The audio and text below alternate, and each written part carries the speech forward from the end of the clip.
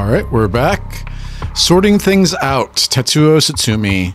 Summary of previous events Hajime Yoshimi's, Yoshimi's death, Nejima's threats of mass murder. The problems just pile up, putting the detective's goal of collecting all the curse stones in jeopardy. Tsutsumi leaves Ario to handle the investigation while he catches a quick break. Tetsuo Tsutsumi, 9 a.m.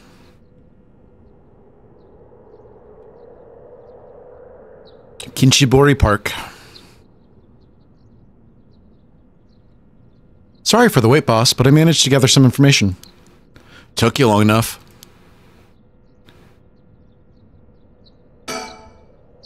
Forensics has finished their investigation the body's been carried away. That said, we're still closing the park to the public, at least for the time being. This place was really giving me the creeps last night, but it looked it looks pretty normal uh, with the sun out. Did my thing go?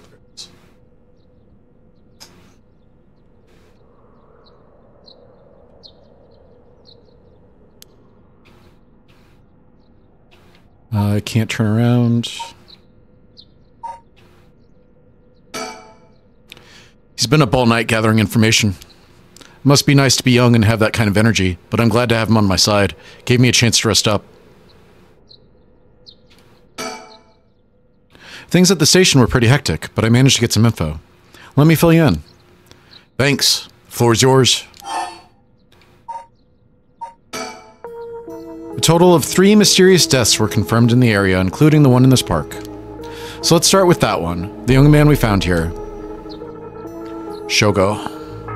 He's been identified as Shogo Okiie, 25 years old, a regular office worker who worked around here. He died of asphyxiation due to water in the lungs. He drowned. He drowned? In the middle of the park? That's not possible. It's gotta be a curse we're dealing with here. About that, boss, isn't the park associated with one of those seven mysteries too? Uh, the Whispering Canal? That's right, the Whispering Canal. It does seem like there'd be a link between the canal and a death by drowning, don't you think? Sharp thinking, Ario. You starting to uh, you're starting to get the hang of this. So let's assume they're related. What's next? Before that, the body of a woman was found behind a residential complex in Kamezawa. The victim has been identified as Tawako Hayashi. Tawako Hayashi. 29 years old, she was an office worker who lived on her own in the area. As for the cause of death, well, Yes? The entirety of her body was crushed by some kind of strong external force. No murder weapon was discovered in the area, but considering the way she was found, we're looking for something large, flat, and heavy that could have crushed her in one fell swoop. Hang on, are you saying she was stepped on?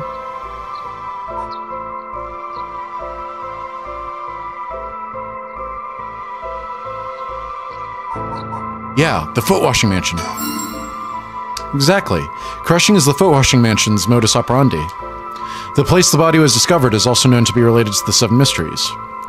Then is this uh, then is this Namagaki's doing? Shit, I knew he'd used it. Judging by the amount of soul dregs, the victim was just a regular person, not a curse bearer.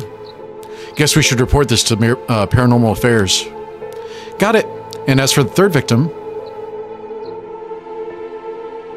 He, he was identified as Kohei Jono Uchi, 32, a teacher at Kamigata High. He was found in the school's courtyard.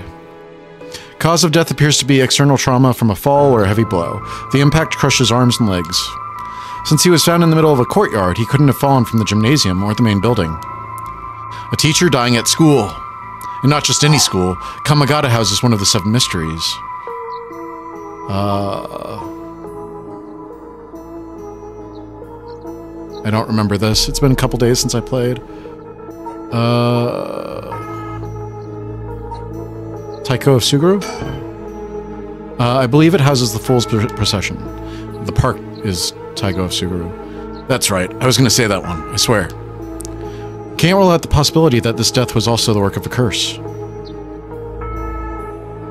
I see. Either way, it seems all three victims can be tied to the Seven Mysteries. There's probably a curse bearer at the center of it all, pulling the strings.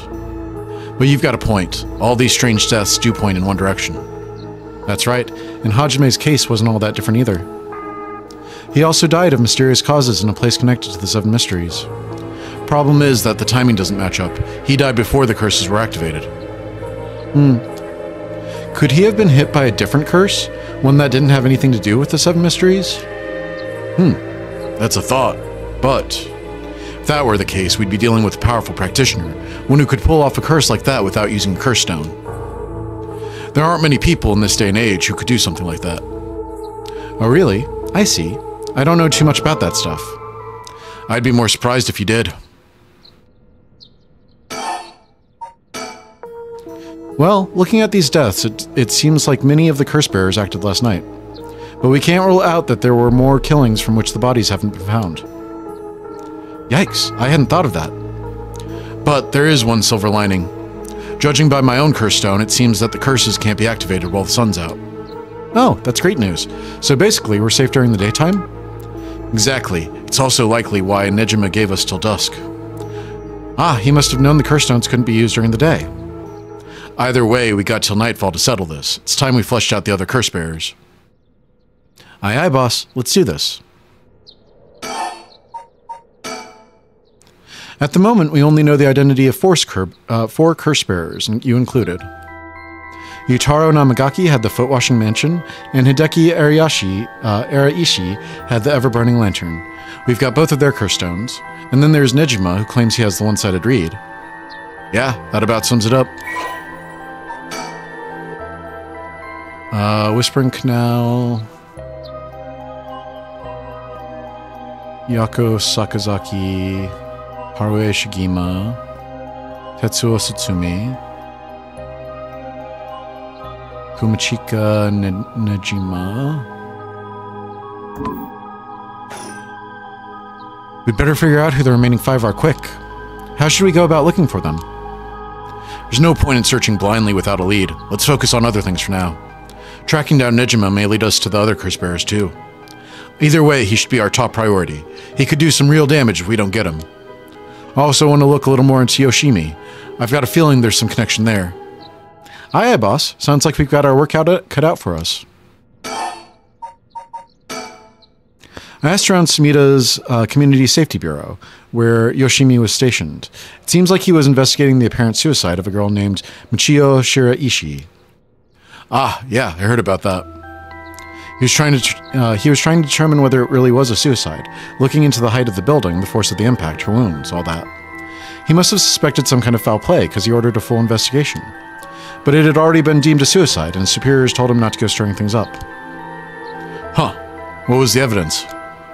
Well, according to the report I found on his desk last night, the body was found at the foot of a building, a ways away from the road. There is no evidence of vehic vehicular collision, so it was ruled a suicide, but but he thought there was more to it. Yes, a truck or other flat-faced vehicle traveling at high speeds could have inflicted similar damage. In other words, sometimes a traffic accident can look an awful lot like a fall. So there's a chance that it wasn't a suicide. But what a terrible way to go. There were no brake marks on the road, meaning it would have been a hit and run. The vehicle would have hit her without slowing down at all. This is turning into quite the grisly case. But the vehicle couldn't have come out from a collision like that unscathed. Exactly, so I asked the traffic bureau to keep an eye out for any vehicles with frontal damage. But I haven't heard back from them yet. I don't think they're looking very hard. So we've got no proof. That said, if I was a traffic accident rather than a suicide, it's possible that someone silenced Yoshimi because he was on the verge of discovering the truth. That's true. You think the driver is the one who did, it, uh, did him in? Not quite. Yoshimi had already talked to the forensics and traffic bureau, right? His death wouldn't have uh, his death wouldn't have covered things up. You're right on that. Even if the suicide was a cover up for a hit and run, it doesn't seem like enough reason to kill a cop. Hmm. Oh, that's right. Unrelated, but I got something else too. I managed to get a hold of Michio Shiraishi's address. Uh, Yoshimi went there a bunch over the course of his investigation. Might be a good idea for us to drop by too. Good thinking. Hopefully that'll give us some more leads. All right, let's move on to the next topic. Remember the girl y uh, Yoshimi met with the day he died? One Hitomi Okuda? Community Safety didn't have any contact information for her on hand. Not even an address? Well, they had her parents' information, but when I called, they said they hadn't heard from her in a month. Lots of family issues from the sound of it. They even said they didn't want anything to do with her anymore. That said, she still goes to school uh, once in a while, so we might be able to find her there. Not sure we really have the time for a stakeout right now, but she could be a key witness. Can't we have community safety tracker down for us? We can ask, but it might be tricky to get, to, get it done today. For starters, Kamagata High School is closed today. Ah, because of the teacher that died. That's right. All right. But if it's not something we can do today, we may have to forget about it. Let's move on then. I got some information about Yoshimi's fiance from the community safety. Her name is Mayo Chozawa, a 27 years old. She works as a beautician in the area. Look, I even managed to get a picture of her. She sure is a beauty. But. Oh boy, here it comes. But what? Community safety hasn't been able to contact her since Yoshimi died, not by phone or at her house. In other words, no response, dead silence. There it is. Can't things just be easy for once? Mayu Chozawa.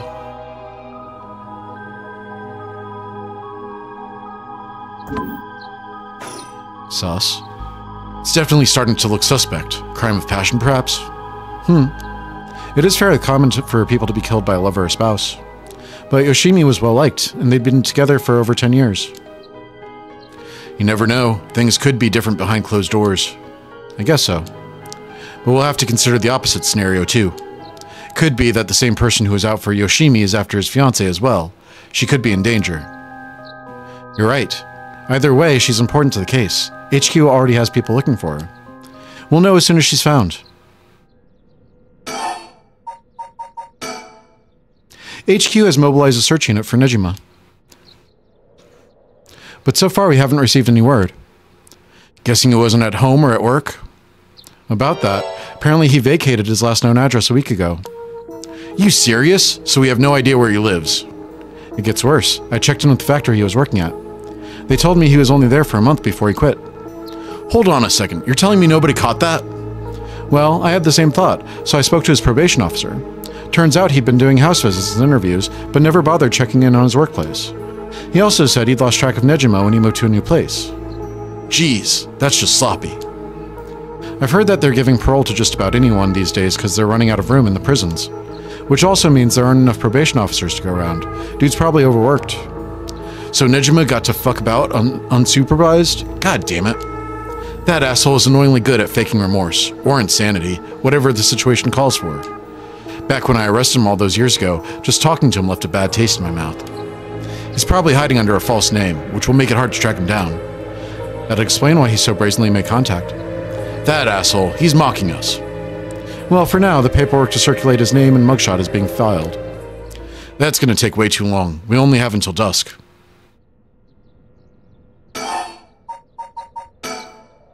Speaking of Nejima, yeah? Did you manage to reach your daughter? It'd be best to put her into protective custody as soon as possible. Not yet. I can't reach her. They called, but she's not picking up. Wasn't home when they went to the house either. That's not good. Does that mean she never came home? And why weren't you the one trying to reach her? Shut up. I don't have her contact info, alright? Damn, she really doesn't trust you, huh?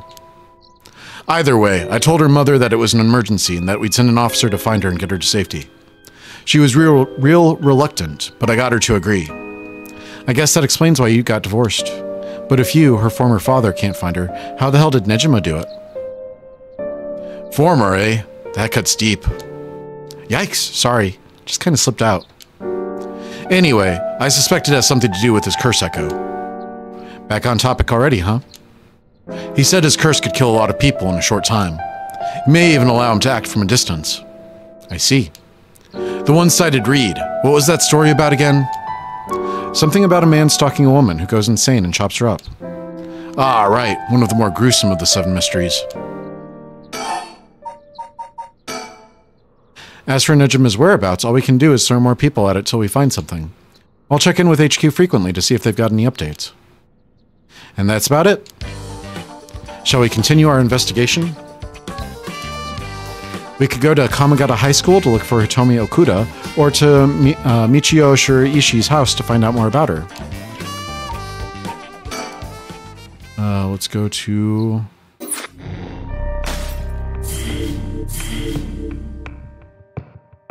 Okay. Fancy sushi. With dusk fast approaching, they have no time to waste. With that in mind, Tsutsumi and Ario direct their investigation towards Kamagata High School and the Shiraishi restaurants.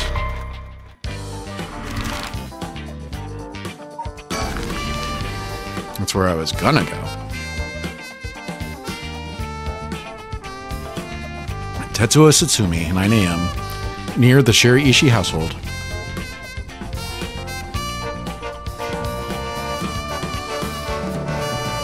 Seems like Michio's house. It seems like Michio's house is at the end of this road. We don't want to intimidate them, so maybe I should go alone. The houses are really crammed together in these narrow alleyways. Strangers like us walking through definitely stand out. Really feels like old Tokyo. It's quiet. This place is normally pretty lively, full of people coming and going, but it seems like everyone's decided to stay inside because of the recent incidents.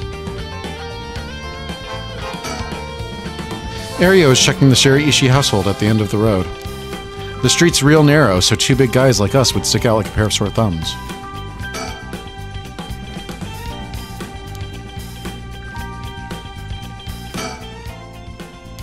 So, the Shiraishi household. There's a chance that Michio didn't actually kill herself. Might be for the best that we didn't find her parents. Alright, I'll go check the house.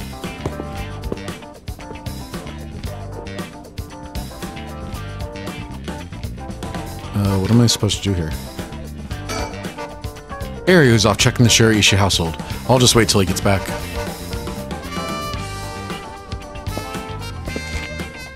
Oh, you're back. No luck, boss. No one home? Doesn't look like it. I knocked for a while, but nobody came to the door. I glanced in the windows, but there was no sign of activity inside either. And I saw about three newspapers stuffed into their mailbox. Ario looks kind of disappointed. Looks like no one's home right now. Let's try again later. Alright, is that all that we can do here? Fine, let's go to the school then.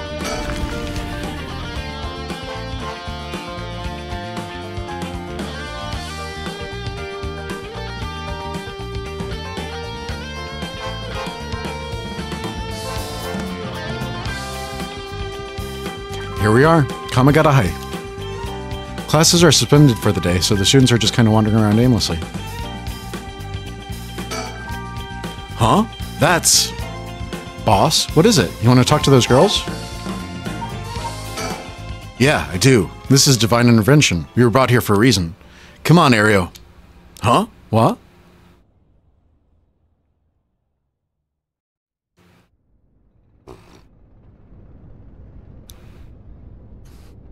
Hey, aren't you? You must be that high schooler skirting the child labor laws who I've heard so much about. Uh, say that again? Sorry about that. He's with me. Mr. Tsutsumi, if that's how you feel, maybe you should look into improving my working conditions.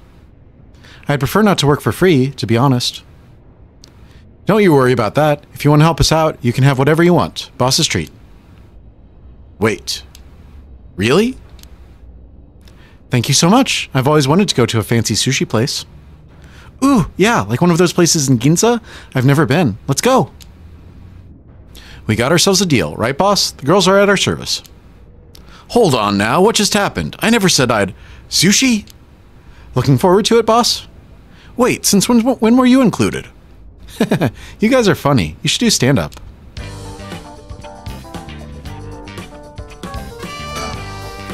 It's usually easier to let Ario do the talking when it comes to young people, but we only have a day. It'll be quicker if I take the reins on this time.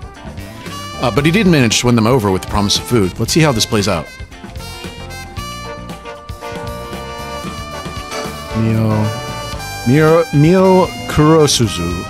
Uh, she's like the disciple of Paranormal uh, Affairs Chief. I've heard that she helps out with investigations free of charge under the guise of training. Although she's my old boss's protege, she helped me out plenty while I was in Paranormal Affairs. She may look meek, but she got strong spirit sense, sharp instincts, and courage, plus quite the brain to back it all up. That said, I can't help but think there's some kind of darkness following her around. So, this is Yakko Sakazaki. She was with Mio. Could she be a friend? Did Mio finally make a friend? If she did, it would do this old man's heart good. But I better not say that out loud. Don't want to make her look bad. So, how much have you been able to figure out? Well, I know what happened around midnight last night. Someone invoked the Feast of Shadows, which boosts the power of curses, then brought forth the Seven Mysteries of Honjo. That allows even those who do not have the power of, uh, to cast curses to gather soul dregs for the rite of resurrection. At least that's my hypothesis. It sounds about rite so far. As I'm sure you know, there are actually nine mysteries, not seven. When the Feast of Shadows was cast, the curse stones appeared before those who wanted the right at the locales of the seven mysteries. We've managed to gather three curse stones so far, including the one I got first, the Evergreen Beach. You got three already? Wow. We have the curse stone of the Fool's Procession. Well, Yakko, the girl standing behind me, does. That's me, Yakko, the girl standing behind Mio. She does? Is she alright? We could take it off your hands. Well, the Feast of Shadows has no effect during the day, and there's still something I want to find out. Alright, I'll leave the Fool's Procession with you two then. She's certainly well versed in the paranormal. I just can't get over the uh, I just can't get over the darkness. Check mark, check mark. Forensics is still investigating the area. I didn't really want to bring those kids to a place like this, but there were too many onlookers outside for us to speak comfortably. Besides, it would be good to have Mio look around the scene too. Thank you. Please keep collecting the other curse stones. I'll be looking for a way to stop the Feast of Shadows. Okay, got it. That should make things uh, go more smoothly. What about the other curse bearers? Have you run into any of them? Well, last night at school. You were here last night? Er, yes, you see. Huh. You two are using a spirit board? That's so cool. So that's when you ran into the Curse Echo. I'm glad you survived the encounter. Somehow, we managed to get away without accidentally setting it off. The Curse Echo we saw took the shape of a woman missing an arm and a leg. What? A woman missing an arm and a leg? That's the one sided reed. This is bad. Huh. What's so bad about that one? You idiot! Think! The curse bearer of the one sided reed is Fumichika Nejima. Fumichika Nejima. He admitted himself that's his curse. Oh, that's right. Wait, but if that's the case, Nejima might have been here last night. What? I mean, it's possible he was lying to us, but. What? Um, who's Nejima? No clue. So, Nejima is trying to take advantage of the Feast of Shadows for his own nefarious purposes. Huh? He says he's going to massacre the city at sundown today? And he's trying to get your daughter, too? That's why we've been trying to find him, but to no avail. Honestly, this information has been the most useful we've gotten so far. So, just to be sure, could you tell me who else was at the school last night? Well, as far as we know, there was us, Mr. Jono Uchi, and one of our classmates, Hitomi. Don't forget old man Ash- Ashi-. Wait, Hitomi? Do you mean Hitomi Okuda, a second year student? Um, well, yes. Why? Boss. So, she was here last night. I saw Hitomi earlier, though. Or, I saw Hitomi earlier, though, and she didn't seem like a curse bearer to me. You did? Did you talk to her? Uh, yeah? Would you mind if we asked a few questions about that? Hitomi said she didn't want to talk to the police because she was afraid she'd become a suspect. So I can't tell you anything unless you swear you won't drag her into this. Ah, I see. Don't worry, this is about a different matter. A different matter? You mean about the police officer, Mr. Yoshimi? You know about that? Did Hitomi say something about him? Yes, she did, actually. Uh. We're talking about people who were at the school last night. There is one more person, though I'm not too clear on the details. There is someone else? Apparently, Hitomi saw Mr. Jono Uchi getting cursed and killed last night. What? Talk about some vital information. What she said happened was. Michio was the one who killed Mr. Jono Uchi? Are you sure it was really Michio that she saw? Well, that's what she told me. I wasn't there. That must mean there was another curse bearer here last night. Jono Uchi was killed by a curse, so someone had to have been there, whether it was Michio or not. Damn, boss, do you think it really could have been Michio's ghost? I mean, based on what we've heard, she does have plenty of reason to be vengeful. Calm down. Just because the paranormal exists doesn't mean just anything is possible. It's still possible that Nejima was behind Jono Uchi's death. But what about Hitomi's story?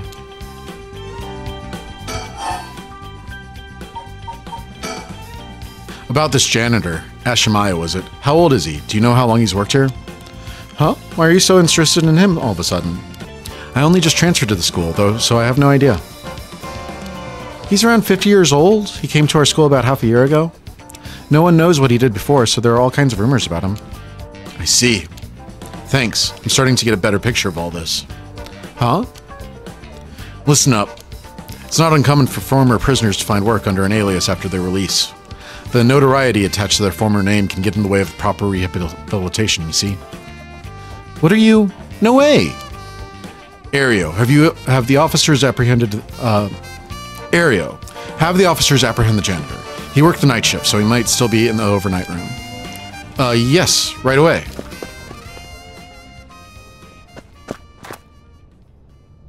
Boss, bad news. Apparently the room's been empty all morning. Sounds like they'd look, been looking to question Ashimaya too, but couldn't find him anywhere. No. That all but confirms it. Just one more thing to check. Are there any photos of this Ashimaya? Hmm. The old man seriously hated getting his picture taken. He'd always avoid it. Ario, call an urgent search for Makoto Ashimaya. We can't let him get away. Yes, sir. I'll contact I'll contact HQ right away.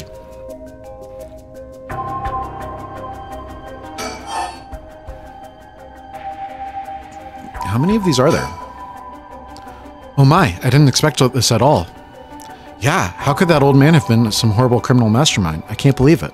And a curse bearer on top of that. To think he was so close to us this whole time.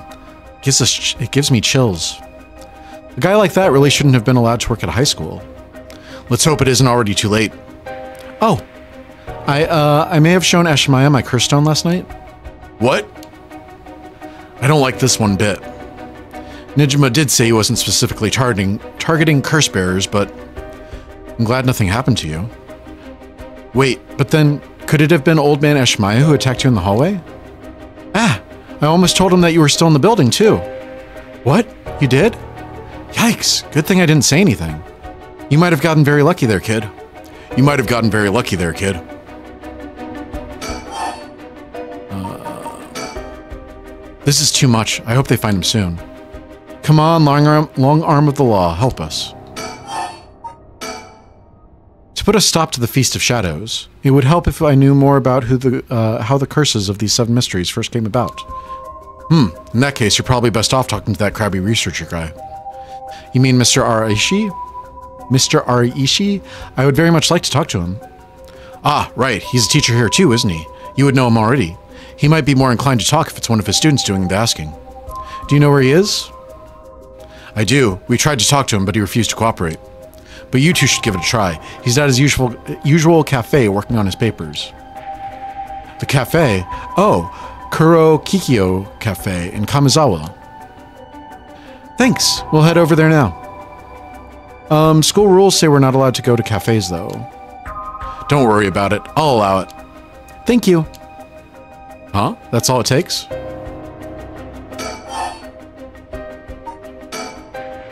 There must be a mastermind behind everything, someone who orchestrated all of this for a reason. I want to find out why.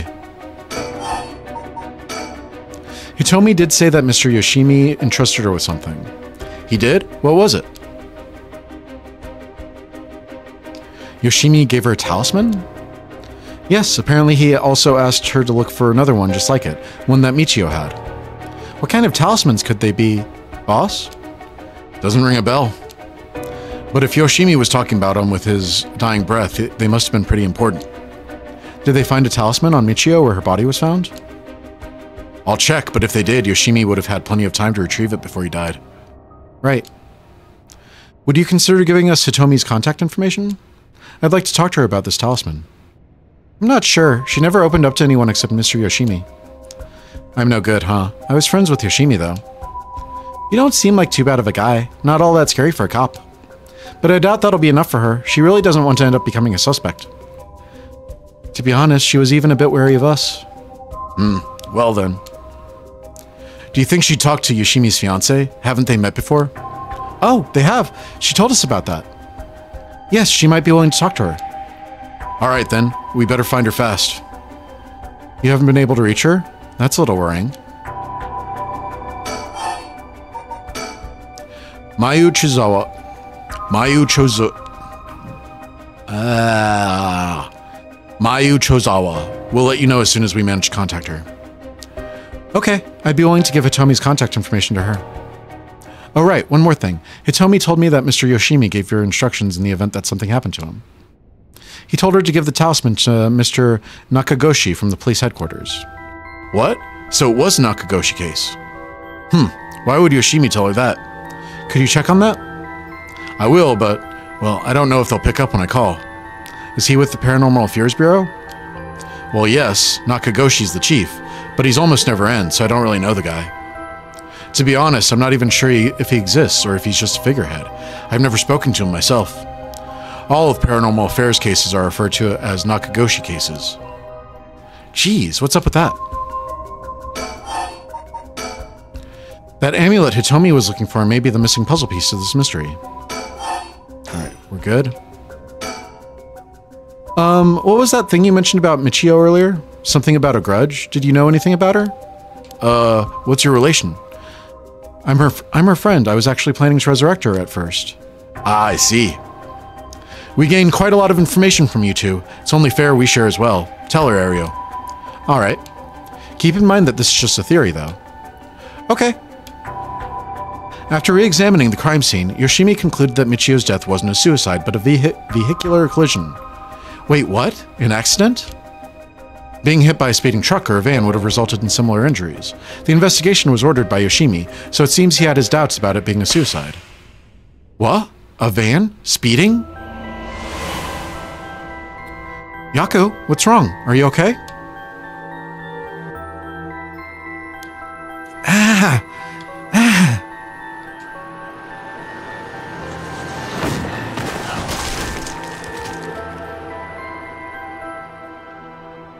A van. There's a young man in the driver's seat. In the passenger seat, a woman. Yakko! Yes? Wait, was I? Are you back now? How do you feel? You're covered in sweat. yeah, I, I'm okay, I think. Sorry, I went a little crazy there. It's no problem, as long as you're okay. That was quite the surprise, though. Um, Yoshimi talked to you about Michiyo, didn't he? Well, he didn't give me any specifics, if you're wondering about that. So I don't know what was truly on Michiyo's mind either. Right. Do you have any idea why Jonouchi was so scared of Michiyo? Well, about that. I'm not sure exactly how to put this, but... I see. Well, I have expected it was something like that. Thank you for telling me. Sorry, it's hard to explain. I wonder how he. Uh, I wonder what he got his hands on to be able to blackmail her like that. Michiyo, what happened? Is that everything?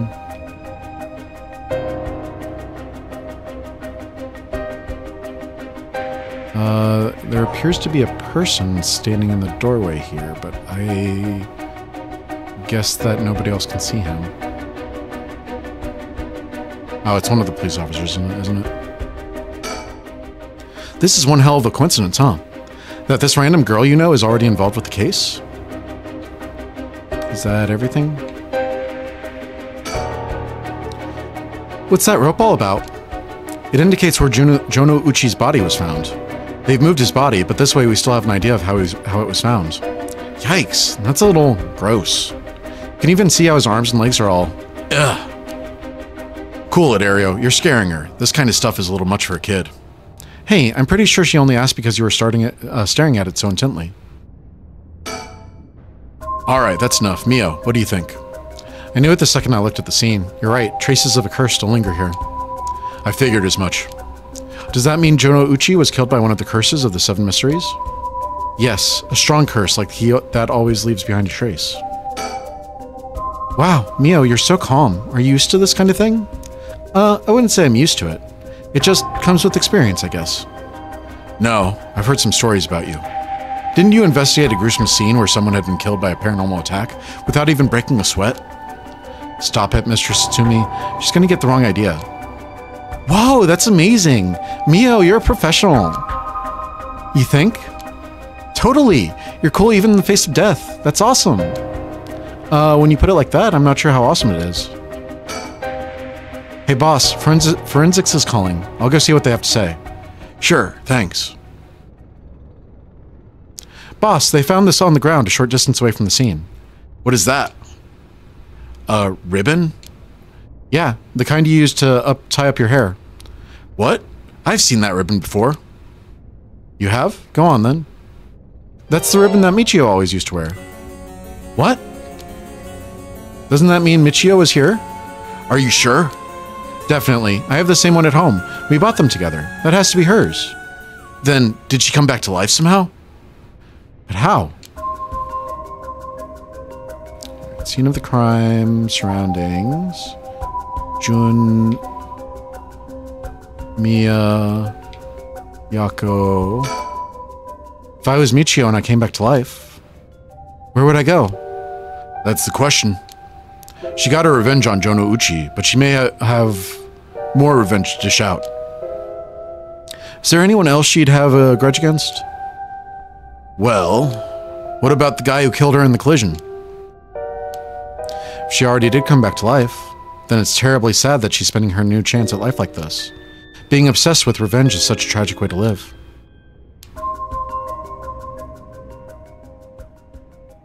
I'm afraid that's all we can tell you. Don't worry, you were a big help. Thank you. We should start our search for Nejima and Mayu Chozawa. It might be worth it to check Michiyo's house as well, just in case. Let's use the school as our base of operations. If anything happens, go to one of the officers hanging around here. Got it. Thank you, and good luck. We'll go talk to Mira, uh, Mr. Araishi about the way to lift this curse.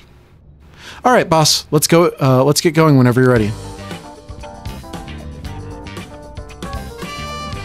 Uh, now do we go to the household? I guess not. Life can be tough. Harue Shigima. Throughout the night, Richter continues to gather information about the curse stones, while Harue lies awake until dawn, preoccupied by the prospect of bringing her lost child back to life.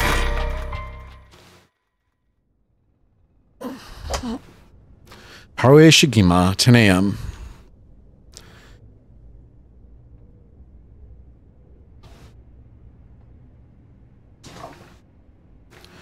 Good morning, ma'am. How are you feeling? Hmm, I'm fine. I hope we can make good progress to get it today. How's your curse stone looking? I haven't felt anything from it since sunrise. Interesting. It's possible that its powers can only be unleashed at night then. That aside, why are you so late this morning? There are unfortunately some things that can't be investigated while the world slumbers. But I did get some research done in what limited time I had. Very well, let's talk. He's looking a bit tired. He must have been up all night investigating. This is the old mansion where I was born and raised. The town is beginning to wake up once more. The clamor of society can be heard from beyond the garden gates. Like any day, a cloud of pollution drifts out from the industrial area.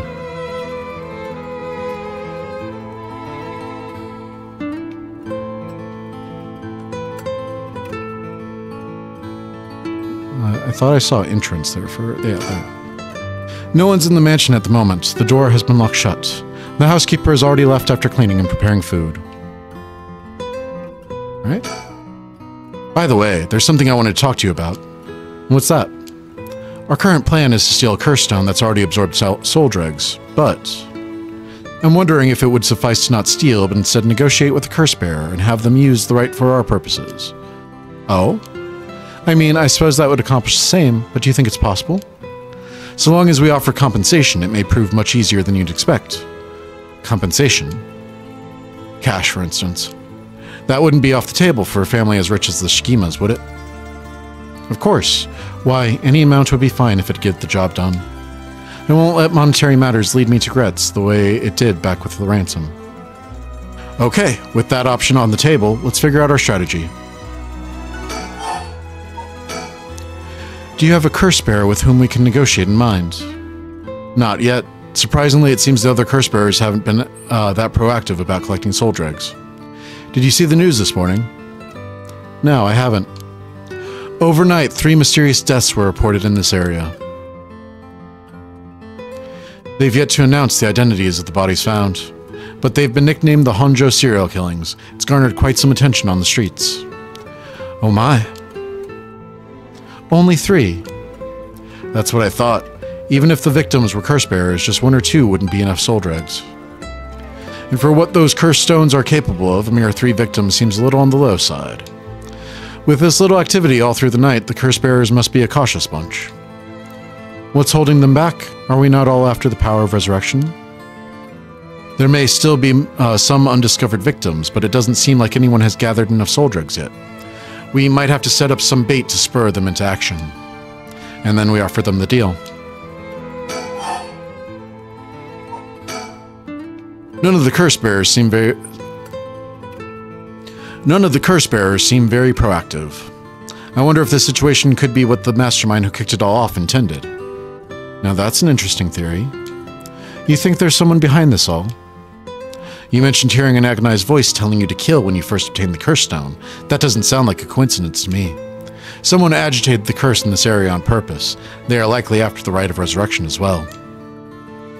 So you're thinking this person is not one of the curse bearers? You've got a sharp mind, ma'am. Though it might seem obvious for the mastermind to become a curse bearer and collect soul dregs in it if they were after the rite. This would be very risky, since as a curse bearer, they themselves would become a target. So it'd actually be more convenient for them to, if the curse bearers moved less aggressively. That's right. But despite that, they've been inciting the curse bearers to commit murders. Why? Let's consider this. What if the mastermind isn't trying to collect soul dregs themselves? You mean their intention was also to steal the souls while the other curse bearers compete with each other from the start? Sitting back and observing from the sidelines is a safer course of action which is why I figured it'd be best for us to attempt the same strategy. So how should we do it? There's still reason to suspect the mastermind could be a curse bearer themselves. To be honest, I want to keep my distance from whoever it is. There's no telling what kind of power they might possess. Whether our aim is to negotiate or steal, we'll have to outpace the mastermind in making contact with the other curse bearers. How do you suppose we do so? At this point, all we can do is search.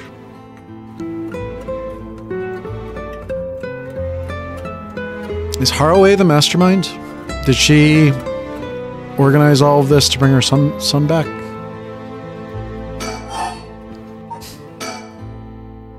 There's a mastermind inciting the curse bearers to collect soul dregs, can we be sure there is even a rite of resurrection? Good question. The rite could be nothing but a myth fabricated to spur the curse bearers into action. Seeing it might be for naught.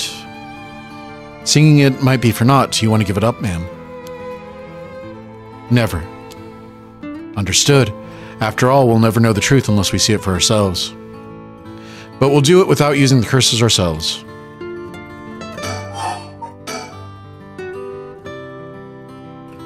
By the way, I met a few people who seemed like potential curse bearers last night. I did some investigating into all of them, but I only managed to get detailed information on two. You're quick. I suppose that's to be expected from an investigator extraordinaire. I appreciate the flattery. Firstly, there's Aomi Tono, the girl we talked to before, although she, is, she isn't a curse bearer herself. She's a student attending uh, T University of Art. She currently lives alone in, in an apartment near Midoricho Park. Midoricho Park. You even determined her address. You're not one to be underestimated, Mr. Investigator Extraordinaire. I called every single university with Yuki, Yukio E in the curriculum pretending to be her parent. I went around to check on her place on the way here. Doesn't seem like she returned home last night. I'm worried she might have run into some trouble. Didn't you attempt to follow her last night? I'm embarrassed to say, but I couldn't. She shook me. I couldn't keep track of her. And here I thought you were an investigator extraordinaire. I'd like to learn more about her, but it would take some time. She is planning to steal the curse stones, just like us. It's best we act carefully around her. Next is the tall man who is dressed in black. I met him near Kinshicho. He stood out with the way he dressed. I managed to get some good information from him. Impressive. What can I say? He works as a secretary uh, to Hihaku Soaps chairwoman. I believe his name is Ta Takumi Yumioka. Takumi Yumioka. The Hihaku Soaps headquarters and factories are both located in Honjo, correct? Yes, they've been here for a while, but it's only in the past 10 years that the company has shown significant growth. I remember seeing the chairwoman on the news a few years back. She seems to be very shrewd. With the increase in sales, I assumed she'd want her factories running at full capacity. But with the harsh restrictions against industrial waste, a lot of factories with older equipment had to be shut down. That's right, even 10 years ago, there were many complaints about chemical plants dumping waste into the river. Most companies back then were more concerned with making a profit than protecting the environment. I wonder what a man working for such a company would have been up to in the middle of the night. On the way here, I stopped by the company's headquarters, but they hadn't started for the day. I should have better luck later. Let's hope you will. Perhaps they're uh, perhaps they're interested in seeing if the rite would be beneficial for their product research into beauty and skincare. now that's an interesting thought.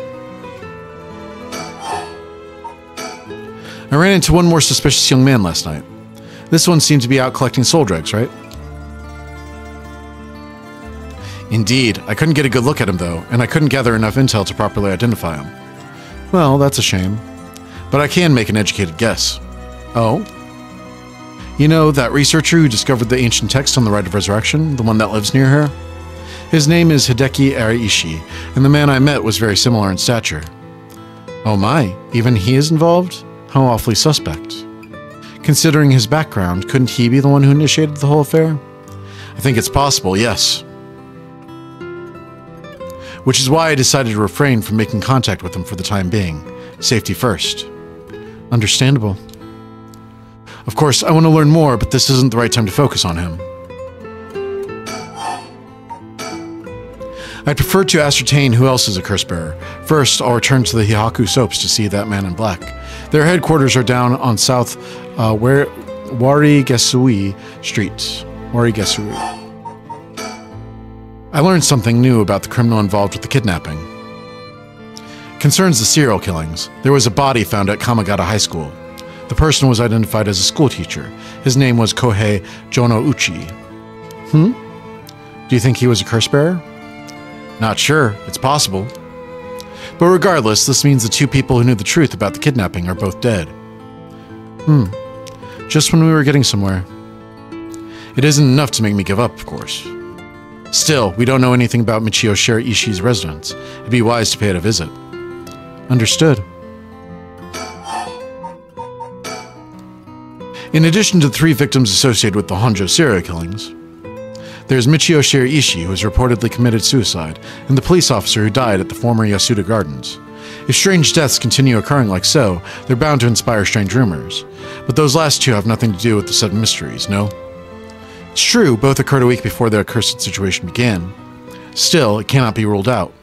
It's possible that the mastermind was involved even with those killings. How? What if there were preliminary steps to awakening the seven mysteries of the curses? Can we really assume they're unrelated just because the timing doesn't match up?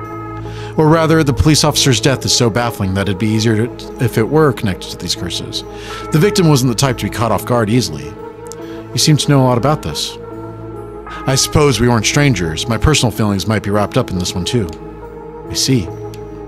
If you were to investigate this matter more, you might get a lead on the mastermind. You're right. If we wish to focus on the mastermind's identity, this would be a fine starting point. We might even discover more deaths related to the curses on the way. We should pay attention to today's news. Well, that's all I have to report. Shall we continue with our investigation? What do you want to do? If you still can't use the curse stone, taking a walk should be a fine place to start. Right, let's go together. I want to see what's going on for myself. In that case, I'll trust you to decide on where we should go, man. Where should I go to begin my search? Which places have stood out to me the most so far?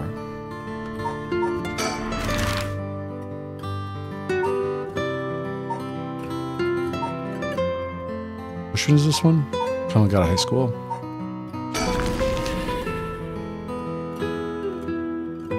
Midoricho Park. We're here. This is Midoricho Park. Ayame Tono lives around here. She wasn't in her apartment when I dropped by this morning. I wonder if it's worth checking again. It's always heartwarming to see children playing in the park. Richter seems to like kids, perhaps because they're on the same wave wavelength? This place is connected with the story of the Taiko Tsugaru. Not only that, Katsushika Hokusai's home was also in this area. That may be that might be why Aomi chose to live here. Small park bordering south Warigesui Street, sporting a mixture of cherry and evergreen trees. Although unremarkable in most respects, its small playground always attracts a number of children come evening.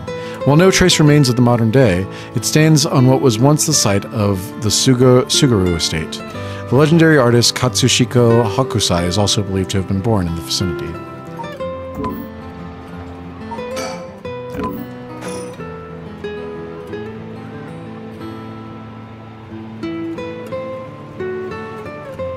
That all that's over here? It looks like that's all that's over here. We won't get much done standing around here. Why don't I go and check out Ayami's apartment? You don't mean speak with her, do you? No, I'd prefer get, to get an idea of what she's been up to. I'd like to see whether she's been home or not, just to potentially get a trace on her movements. Then be my guest. Okay, I shouldn't be long.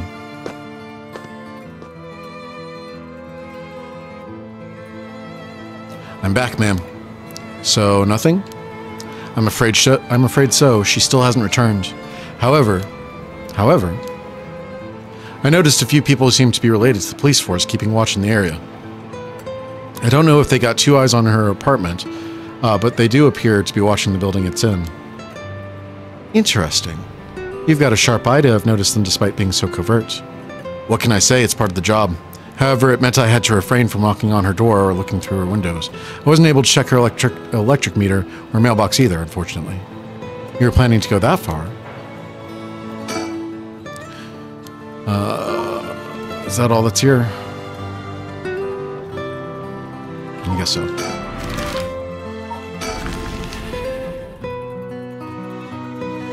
South Warigasui Street. The Hihaku Soap's headquarters are on the other side of the South Warigesui Street. They were closed when I visited this morning, but it appears things are up and running now. To think the small soap making company could grow so much in such a short time. They have factories and warehouses throughout the area now. You can see why director and now chairwoman Natsue Yamamori is called the Queen.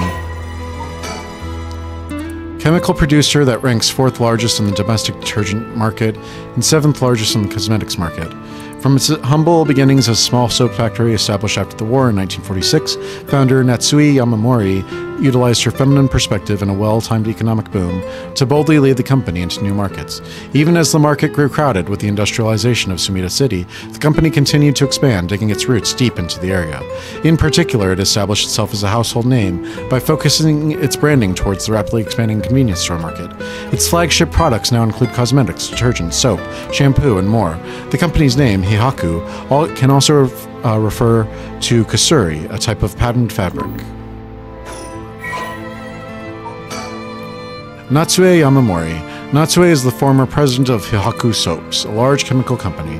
Though she retired from her position two years ago, she still wields great influence over the company from her position of chairwoman. Recently, there have been rumors about her possessing strange and powerful magical abilities, earning her the nickname the Witch of Hihaku. Prior to the war, Natsue enjoyed working her dream job at a textile factory. She was forced to face the bitter reality of the world, however, when the factory was destroyed by a fire during the war. She was ordered to rework the fabric she had painstakingly crafted into something more suitable for blue collar work. Witnessing the rise in popularity of Western style clothing in the post war period, Natsue left the textile industry. However, a nod to her past can be seen in her company's name, with Hihaku being another name for kasuri, a type of fabric featuring patterns and images woven with dyed fibers. Having long been dissatisfied with the soap supplied at the textile factory, Natsue saw a business opportunity and set up her own small soap factory. Taking inspiration from imported soap brands, she developed new products, which quickly gained a good reputation. Ever the shrewd businesswoman, uh, Natsue ran a, an aggressive promotional campaign on TV featuring a popular Japanese singer rapidly turning Hihaku soaps into a household name. You mentioned that Takumi works as her secretary? That's correct. Do you think it's possible he's acting on her orders? That's exactly my thinking. Curse Bearer with both money and power could certainly look at resurrection as their next prize. Negotiating with a person of that stature may prove difficult. Business is up and running. I can see people inside the reception area.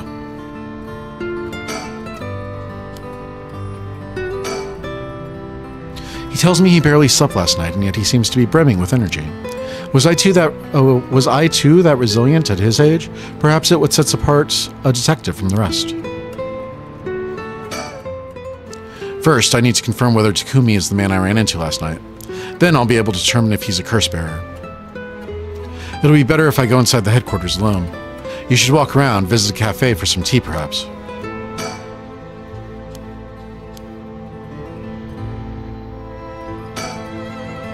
Back in the Edo period, the canal known as South Warigesui ran through this area, but it's been turned into a major road. It's a bit away from it's a bit away from Station or Ryogoku Station, though it's still considered a nice area. The stories of the ever-burning lantern and the foot-washing mansion both took place around here. One of the bodies discovered this morning was found by this road as well. This is quite a lively area, huh? I suppose you could call it somewhat of a city center. Uh, Waragasui, lit partitioning ditch, uh, refers to literally partitioning ditch, refers to a waterway dug down the middle of a road so as to fight, divide it. At the dawn of the Edo period, the Honjo district was little more than a collection of suburban rice farms. As the area became more developed, the South Waragas Warigasui was excavated in order to drain rainwater into the Yokojukken River to the east. Though it served the people long and faithfully, it was converted into an underground culvert at the beginning of the Showa era. In the present, no trace of it remains on the surface, but the street that bears its name.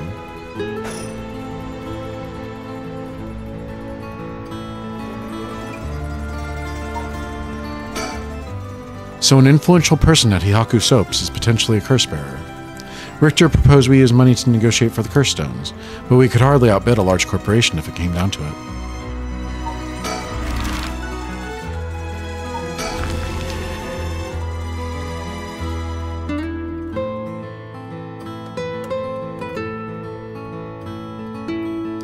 Here we are at Ground Zero, Kamigata High School. I guess it's logical that the police has got this place shut down. Uh, the teacher's body was found here after all. It's as if the students have nowhere to go now that the school's closed. It seems the officers are still inspecting the scene. Entry has been strictly prohibited. news has attracted a bunch of curious onlookers, huh? That works in our favor. The more people around, the better we can blend in.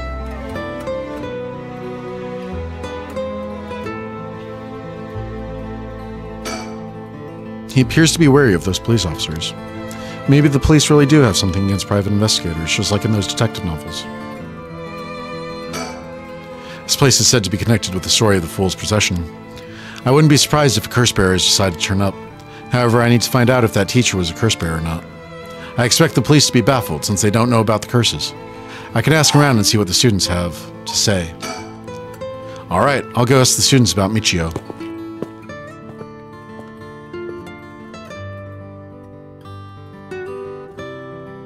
I'm back, ma'am. So, what did you learn? That school kids sure love a good rumor. I was practically drowning in stories about Mr. Jonouchi and Michiyo, most of which seemed dubious at best. Not surprising. Most of what I heard was hardly worth a second thought. But there was one story that caught my attention. Oh? Some believe that Michiyo is the one who killed Mr. Jonouchi. Really? The story's got two pieces of evidence to back it up. One of them wasn't news to me. Apparently, he's been mumbling that Michiyo is going to kill him for some days now. A fellow teacher overheard him this, his mumbling and told the students. And then it spread like wildfire, I suppose. Rumors that juicy don't have a, don't stay a secret for long. As for the other piece of evidence, a pigtailed girl in, a, in a, her school uniform was seen around school late last night. Go on. Although numerous people claim to have seen the girl, not one of them saw her face. Some are proposing it was Michiyo brought back to life, or that it was her vengeful spirit. But it's not like Michiyo's the only high school girl to wear pigtails. This rumor might have been made up just to fan the flames. Hmm. But if it were true, I'd want to get a hold of her in order to hear her side of the kidnapping. If she's alive, that'd be ideal. There's still one more thing I should mention. I discovered where Michiyo lived. A student had a list of student addresses on hand. That's an amazing find. I believe all the students actually have a copy of said list. It truly worries me how easy it was to obtain what should be confidential information. Imagine what would happen if that information got into the wrong hands. Well, so far it hasn't, no? Sure, let's just hope it stays that way. In the meantime, it's now possible for us to visit Michiyo Shiraishi's house.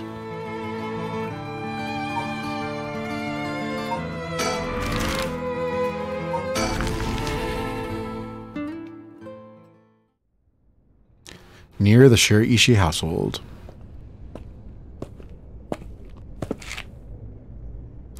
How did it go?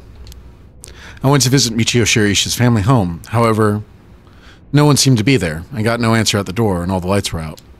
It seems to have been empty for a while now. There was a stack of newspapers out front. Hmm.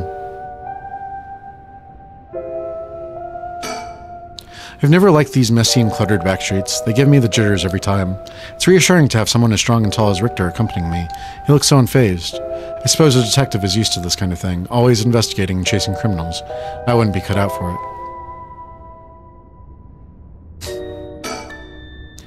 It's a bit quieter over here. It is a residential area, after all. All these rundown row houses really scream working class, don't they?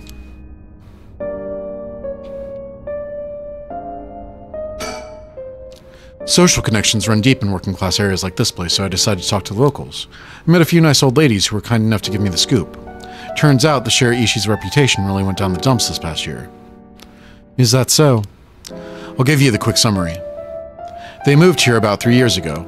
Their previous residence was in a better part of town. Michiyo's father died in a car accident, leaving behind just the two of them. Michiyo's mom, Toshiko, now a single mother, relocated here. At first, they got along with their neighbors, many of which were in similar situations, helping and being helped in turn. So far, so good. What happened?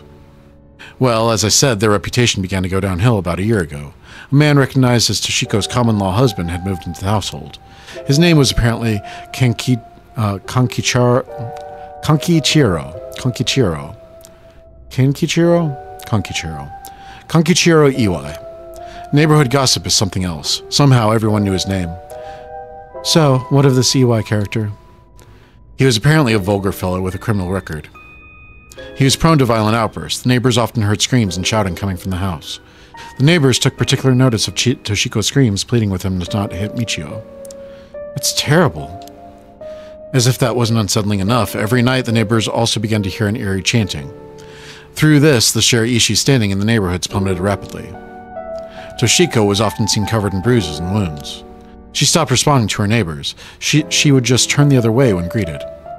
They kept their storm shutters closed even during the day and effectively shut themselves away from the entire community. That sounds horrible. Why didn't the police step in and do something? Unfortunately, under our current laws, the police aren't allowed to get involved with domestic disputes. That's awful. And then Michiyo reportedly killed herself. Things only got worse with Iwai, and Toshiko was admitted to the hospital for her physical and mental abuse. Ever since, Iwai hasn't returned home. Many locals expressed sympathy for Michiyo's circumstances, but just as many were fed up with the Shiraishis entirely and seemed relieved that things finally quieted down again. It seems that they were still considered outsiders even after three years of living here. I don't understand it. Why would Toshiko have gotten involved with such a brutish good for nothing in the first place? I've heard many stories where one partner's personality does a complete turn after entering a relationship. After her first husband's death, Toshiko's financial situation had also taken a turn for the worse. She was determined to send her daughter to a good high school. It's possible she fell victim to sweet promises. Life can be tough, I suppose. You don't seem moved by the story, ma'am. That's fine. People have all kinds of stories. Uh, Honjo's ace detective. Collect all information on persons of interest. Uh, Kenkichiro Iwai. The common law husband of Michiyo Shiraishi's mother, Toshiko Shiraishi. Uh, Kankachiro started coming and going from the Shiraishi household a little over a year ago. It seems he has served some time in prison, but the details are unknown.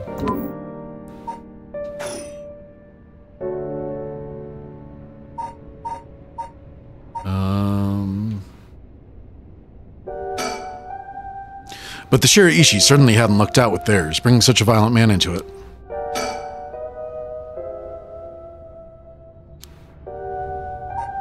Uh, is that all?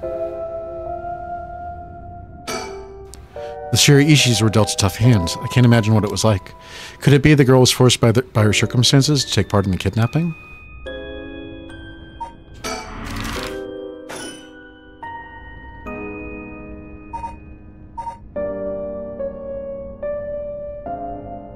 I guess let's move somewhere else.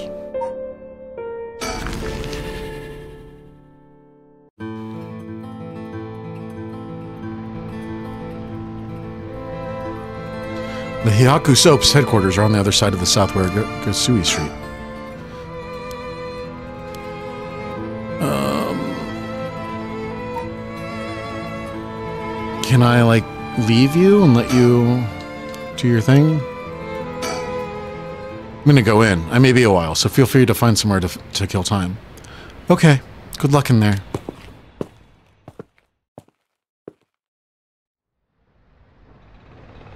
Sorry to keep you waiting. How did it go? I'll fast forward to the conclusion. I met with Takumi. Takumi. There's no doubt he's the same man I saw last night, but it doesn't seem like he's a curse bearer. Hmm. But that doesn't mean he has no connections to the recent curses. He knew about the seven mysteries. He even guessed we have a curse stone of our own. Excuse me.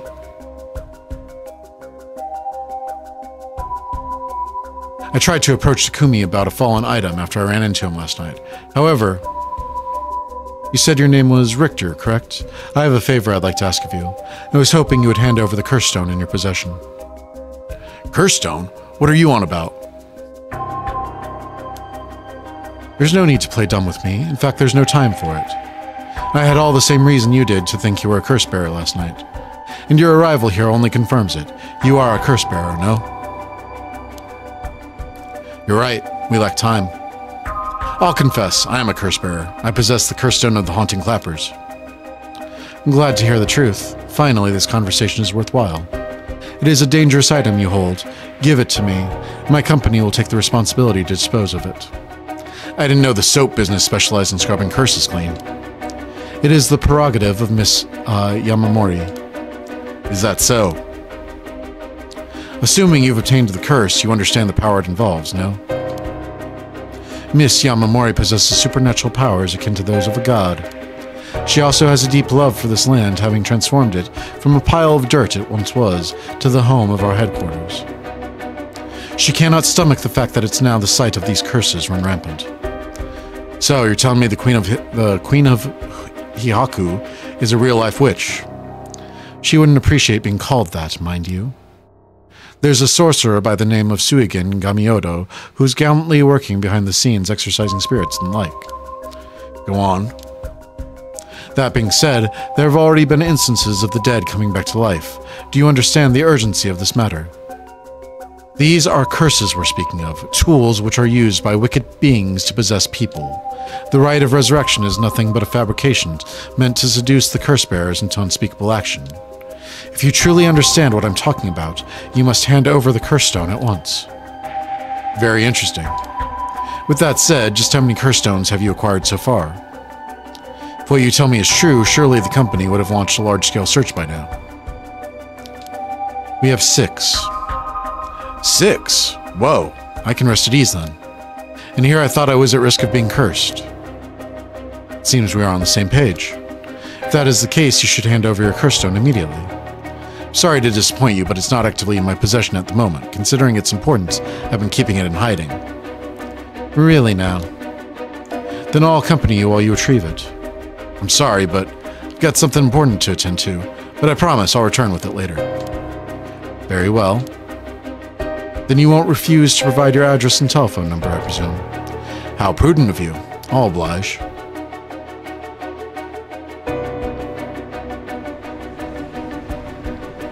And that's how it went. Hmm. So they aren't after the rite at all. I wouldn't be so quick to trust him. Oh? I believe we're dealing with a master in deception. He may well have made up a story to convince us to part ways with our stone. I think he was lying about having procured six curse stones as well. Like, really? Six? That's excessive. Well, now I feel gullible. Company is plotting something. I wonder what they mean to do with the curse stones. He seemed rather desperate to get a hold of ours, despite us not having collected any soul dregs. Perhaps the people at Hihaku are the masterminds behind the curse being unleashed. Because the chairwoman's a witch. I wonder about that, too. She really was that powerful, would her secretary have divulged that information so casually? Takumi was either making it up as he went, or... or... or he's trying to spread a rumor. For what purpose would he do that? Recently, people have been caught up about the occult more than ever before. If word spreads that Hihaku's chairwoman has godlike powers, she could very well benefit socially and politically from that mystique. Hmm. That's unsettling. By the way, there's one more thing of interest I heard while in the company's reception lobby. What's that? People were discussing whether one of the bodies found this morning was that of a Hihaku employee. Really? So long as the officials haven't revealed the identity, it all amounts to no more than speculation, though. Despite that, I've reason to believe Hihaku Soaps is deep, deeply involved with the Seven Mysteries. At the very least, I can assure you I've gathered that much. The more we know, the better our negotiations will go. Alright. Do we just go back to the park now? How interesting that the Queen of Hihaku, or the Witch, whatever she is, is trying to get her hands on the rite of resurrection. It's like some kind of dark fairy tale. Regardless of what it is, what isn't, or er, regardless of what is or isn't true, we must stay one one step ahead.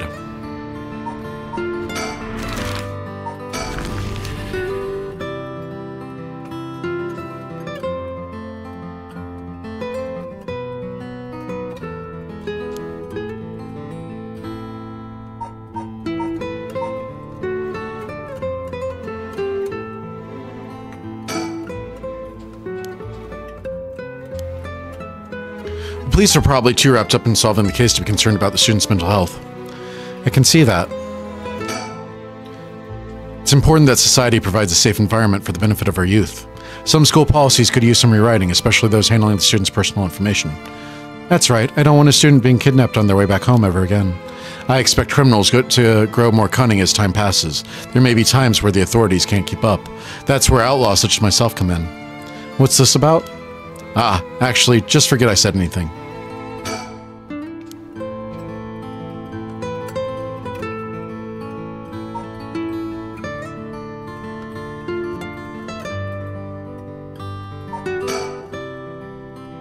They're all dressed up for school. In another wor world, I might have had the chance to see my son in uniform too.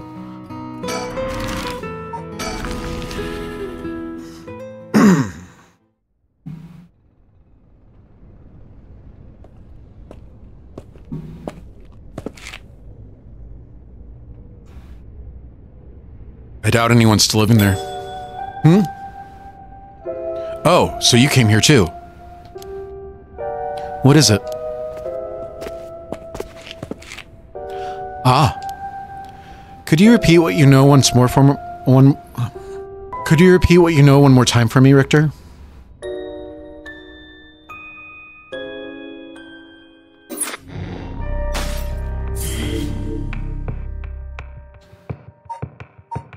Uh, hello? Uh, Dead or alive, Harue and Richter visit Michiyo's home, having determined her to be a key player in the unresolved kidnapping case from a year before. As the complicated story begins to unravel, they encounter two men.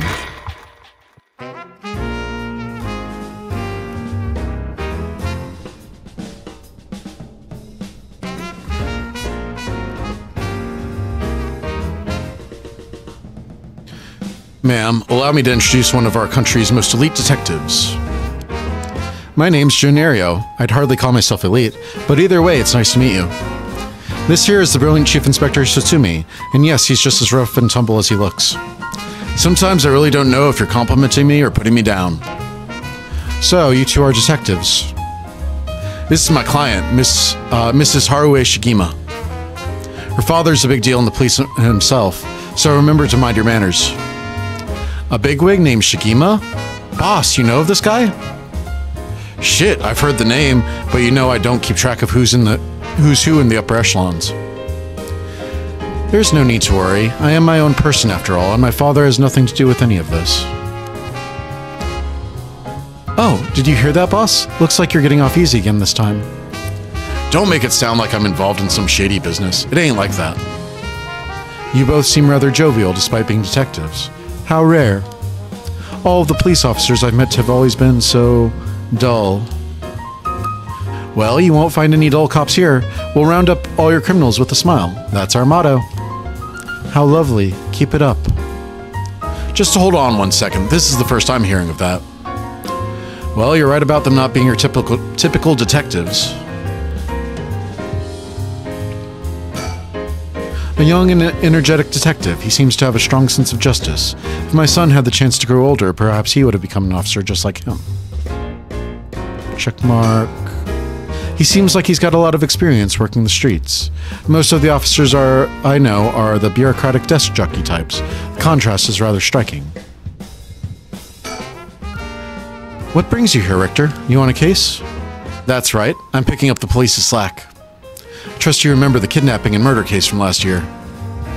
Oh, I remember now. You're that Harue Shigima from the kidnapping case. Huh? Did I miss something? Don't be an idiot. It was the case where M- Munasada Shigima's grandson was kidnapped. Which must have been your son, man. Indeed, the story was suppressed by the news. In the end, it was considered a huge failure on the police department's part. Most of the investigation was conducted in secret, and unfortunately, the department is unwilling to reopen the case. Any investigation carried out afterwards turned up nothing at all, which is why I'm now on the job. So they never caught the culprit, huh? That's rough. So your findings have brought you to this place then? That's right. An individual connected to the case used to live around here. Used to? That's right. As of last week, they're deceased. We'd hoped to talk to the family. No one was home when I checked last time, so we figured we'd try again. Interesting. Sure doesn't look good on the police to be mishandling cases like these. If there really was a culprit, it should be our responsibility to bring them to justice. Well, I do consider the police my people, so you consider the blame to be shared. You've got a stern side uh, as well, I see.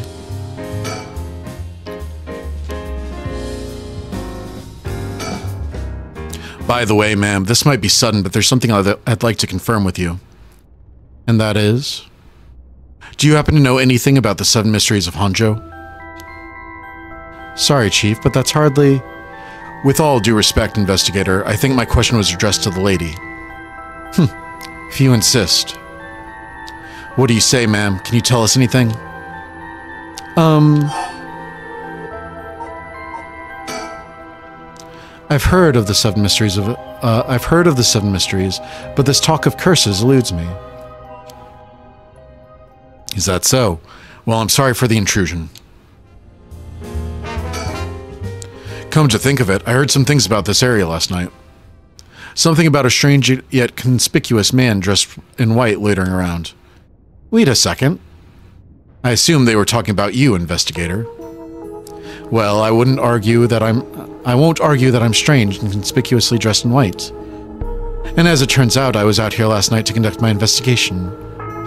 Did you run into anything strange or out of the ordinary? Out of the ordinary? Hmm. I guess I did observe a few suspicious characters. You were asking about curses just now. Why would a public servant be so interested in the occult? Boss, ah, Richter's a smart man. He can help us if we tell him what we know. I can't promise I'll be a, of any help to you, but I'm interested in hearing what you got to say. Something hap something's happening in Honjo, isn't there? It must be something big if they've got the head of the office guys. If they've got you head office guys on it. Well, I guess it's all right. Desperate times call for desperate measures. Thank you, boss. Listen closely to what we're about to say, Richter. Huh. So by using the curses to commit murders, these people collect soul dregs to perform the rite of res resurrection. And these curse stones are somehow connected to the seven mysteries of Honjo. It's a tough story to swallow, but I don't see a reason to doubt you either. We figured... We figured the strange occurrences happening around here recently are connected to these curses. To get this situation under control, we've been searching for the curse bearers to confiscate their curse stones. Do you have any information that might help us? Uh, that's tough. I never expected curses and other mumbo jumbo to play into this all. But if we're talking about shady characters, there was this middle aged fellow I saw on South War- Warigesui Street. He had an average build. He was anxious, like he was searching for prey. Boss, what do you think? Well, considering the location, it could have been Hideki Araishi. We already got his curse stone. Impressive. You two are working quick. Did you see anything else? Not that I can remember. That's a shame.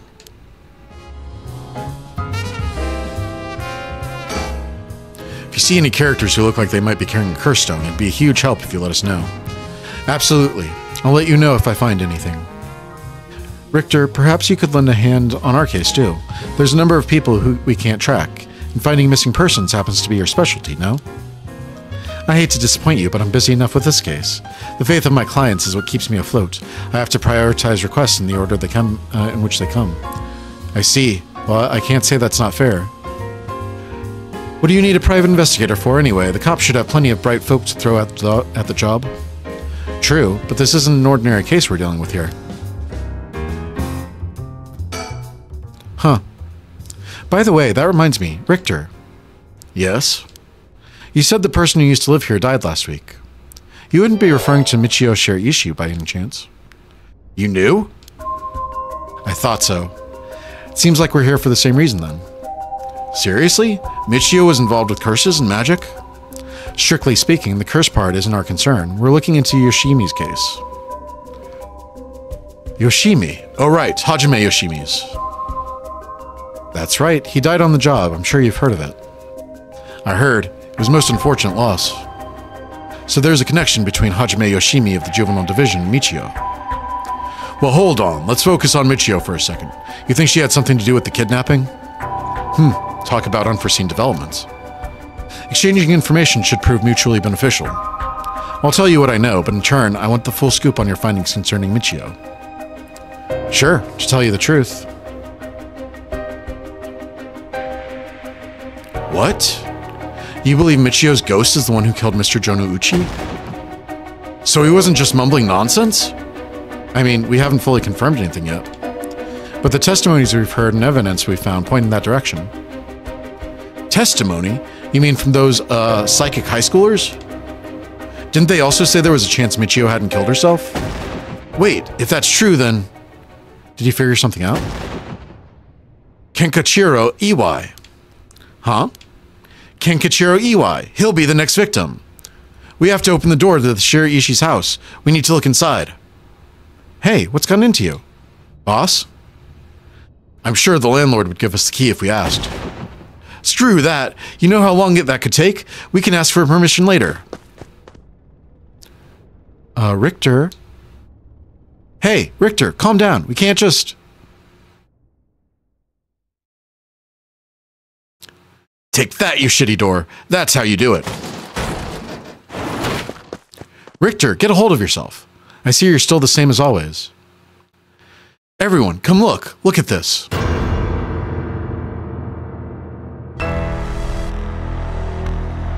Ah. Whoa. What's up with this room? Boss, there's a dead body in here. Whoa. Could that be M Michiyo's dad? Nah, he's her stepdad at best, if that. It's gotta be the body of Kenkichiro Iwai. There's no doubt about it, this man's a goner. He's gotten real messed up. Looks like he's been like this for a while. I'd say it happened last night. Ario, did you find Jonouchi's body in the same state? Now that you mention it, it looked as though Kohei, Kohei Jonouchi had died from a number of heavy blows. What are you suggesting, investigator? It was Michiyo Shiraishi. She's alive. She used the power of the curses to get back at the men who ruined her life. That's ridiculous. You're suggesting she actually revived? It's gotta be that. And if she's alive, then...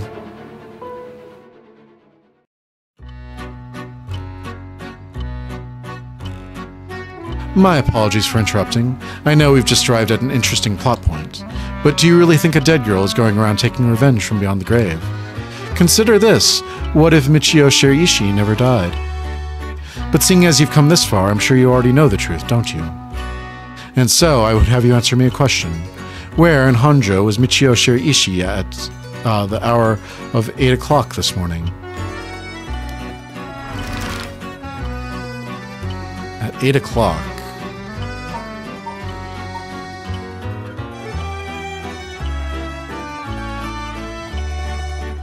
Can I see the timeline?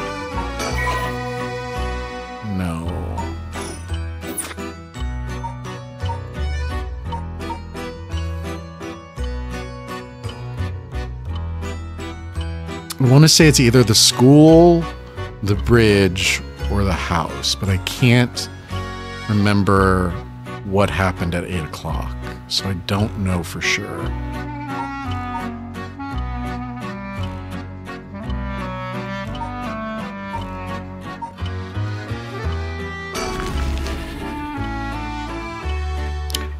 I see.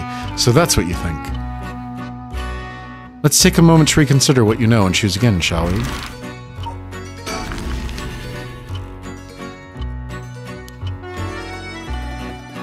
Was Michiyo at the park? No, she couldn't have been at the park. She was at the school.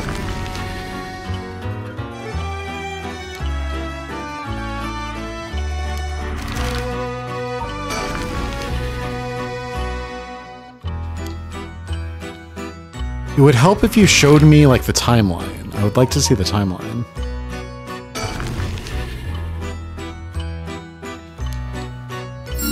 Congratulations, you are correct. You got it wrong four times. Well, it's a trivial matter. It may have been easier to reach that conclusion had you considered the cause of death. Let's get back to the story then, shall we? I've taken up enough of your time. What? So you really think Michiyo Shiraishi is alive? Just think it through and it all becomes obvious. It tracks, but... Do you really think that girl could have managed all this? First of all, Ario, go report this to HQ. Understood. I'll get on it right away.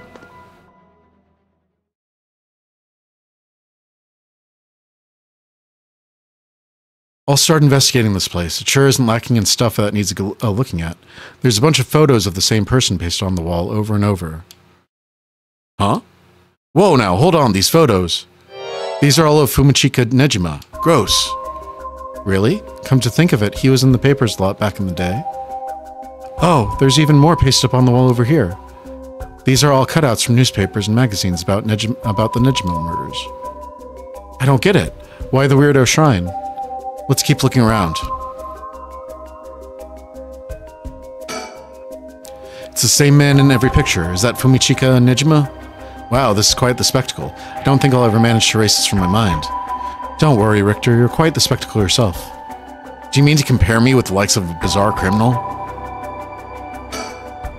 These aren't just cut from publications, they even snapped a number of shots of their own. They must have admired him. Why else would they have collected so many pictures? Whatever the case, it's certain they were obsessed. Nejima's pictures. This drawer is really old, Chief Inspector. Do you mind if I look inside? I mean, in normal cases, only the police would be allowed to touch things, right? Right. Ario isn't here, so let, let me take a look at it. There's just clothes in here. Not much variety either. Can't say they were big spenders. Well, I was hoping to find a kind of talisman here, but I guess we're not so lucky. I see. Thank you anyway. Uh, drawers, Nejima's pictures, window. With the window and storm shutter closed, no light gets in here at all. It's pitch black. The neighbors mentioned they started to keep the house shut like this long ago. Look at these pictures. Pictures of Fumichika and Nejima cut out from newspapers and magazines. Whoever put these up was obsessed. I wonder what their intent was. You think the Sh Shiraishis are somehow connected to the Nejima's case? Perhaps they did this as to not forget a grudge or something. It's crazy to think Nejima might be involved in all this too. Hmm. Do you think he might have got anything to do with the body here? Maybe. The man's already out on, on parole. He's a curse bearer with a curse stone now. He announced that from the sundown today he'll be going on a killing spree. Oh dear. There's an emergency service underway as we speak, but no one's yet managed to get a hold of the bastard, so he hasn't changed his ways. That doesn't bode well. To tell you the truth, the lady here isn't completely unconnected to the Nejima murders either. You don't say. That's right, we talked about it last night. Twenty years ago, I found the hand in Sumida River that brought the incident to light. You don't say. You were the kid from back then. You were really brave. You did a great deed. Were you the detective I spoke with? I had no idea. So, you two have met before. Fancy that. I've been worried that Fumichika Nejima might bear resentment towards you, ma'am. Hmm, you might be right. Unfortunately, that asshole is quite the resentful type. Oh dear. That asshole. I wonder who put the idea into his head, and now he's got the one-sided greed, too. He's threatening to massacre the people of Honjo at sundown. Seriously? On top of that, he's been itching to get revenge on me as well. Of all things, the man's gone and threatened to kill my daughter. Damn, that's quite the threat. Certainly you can't afford to stay put here. The fucker wants to get us all antsy. When I finally get to arresting him, it'll be with a cool head. Not gonna give him the pleasure, huh? Well, if Iwai and Fumichika Nejima have anything to do with each other, then this room might hold a clue to Nejima's location. Let's hope so. The person who put all these photos up must have been obsessed with Nejima. They might have had some relation to Nejima's victims, or perhaps it was the opposite. The opposite? What if it wasn't loathing, but admiration? But then... This sliding door leads to the kitchen. It barely fits the frame. There are old books scattered everywhere. I wonder what they're about. Many of them are written in foreign language. It'll be a pain to look through all of these. Let's save them for later and continue to look around.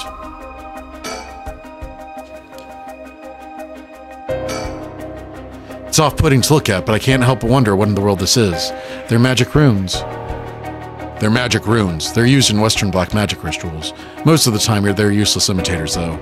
Uh, useless imitations, though. I wouldn't get too excited about it. Oh my, who knew the chief inspector was such an expert on the occult?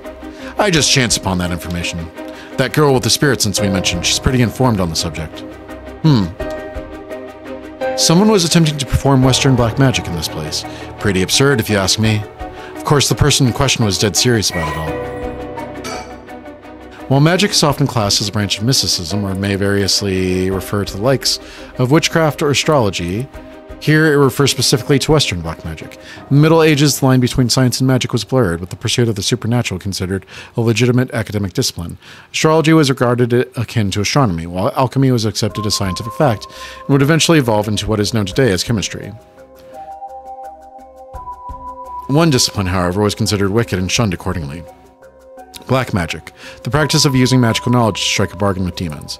In contrast to the socially acceptable subjects studied uh, by the intelligentsia, black magic was most prolific among the lower classes. It was the common people who suffered from the ills of the day war, famine, and sickness, which perhaps led them to seek aid from unholy powers. As heresy, these rituals and spells were nowhere to be found in orthodox modes of teaching, but instead were recorded in tomes of dubious credibility.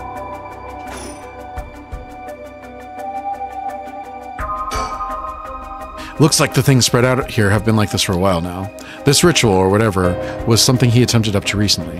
Plenty of neighbors mentioned having heard strange mantra-like noises coming from here during the night. You think Iwai was the one chanting? Hard to say. Could have been one of the Shiraishis as well. If we look through these books in the back, we might learn whatever it is they were trying to do.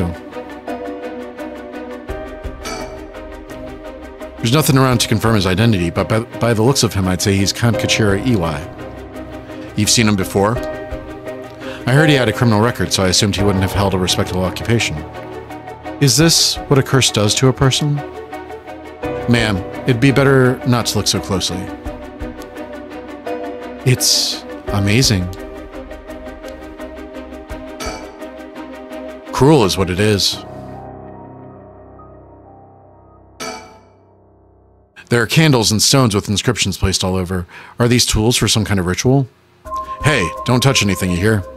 Ah, that's right. Considering this a murder scene, we ought to leave everything as it is. All of this can be used as evidence. If anyone besides Forensic toys with it, it'll cause trouble down the road.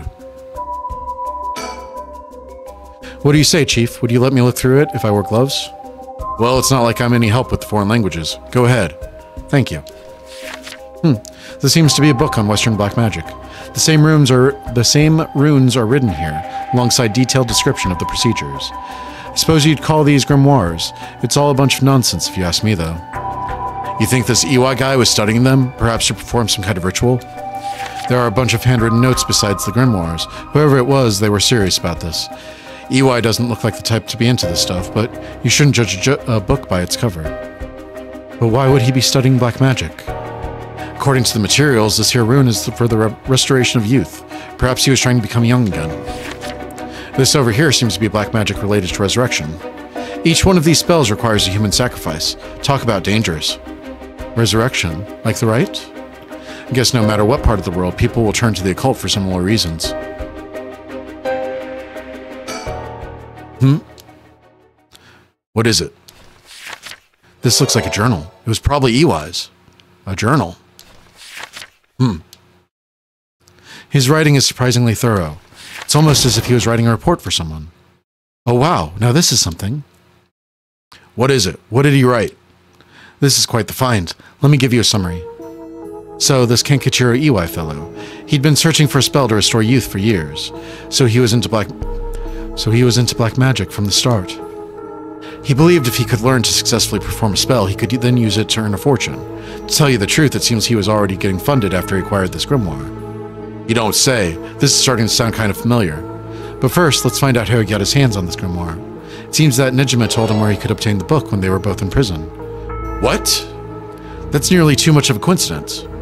Likely not coincidence. It seems like Iwai took an interest in the Nejima murders after it made the news. He admired him rather passionately. You might even say he worshipped the man. Worship? Nejima of all people? This was a time when students were itching to rebel. Anyone who did something to shake the world was bound to gather admirers. Iwai had been collecting these photos ever since that time, and since he just so happened to land in prison at the same time as Nejima, he made sure to get in contact. This is a lot. I mean, even having it all laid out like this. The thought of Nejima being involved with these grimoires is staggering. I don't think we ever had anything pointing to that. What's the connection? Be honest, it's a shock to me too. For years we've been scratching our heads over the motives behind the Nejima murders. Yep, it's been a mystery to all of us from the start. Whoa now, wait a minute, do you think? No way, are you saying? That's right, the murders might have been for a ritual. He was attempting to perform black magic.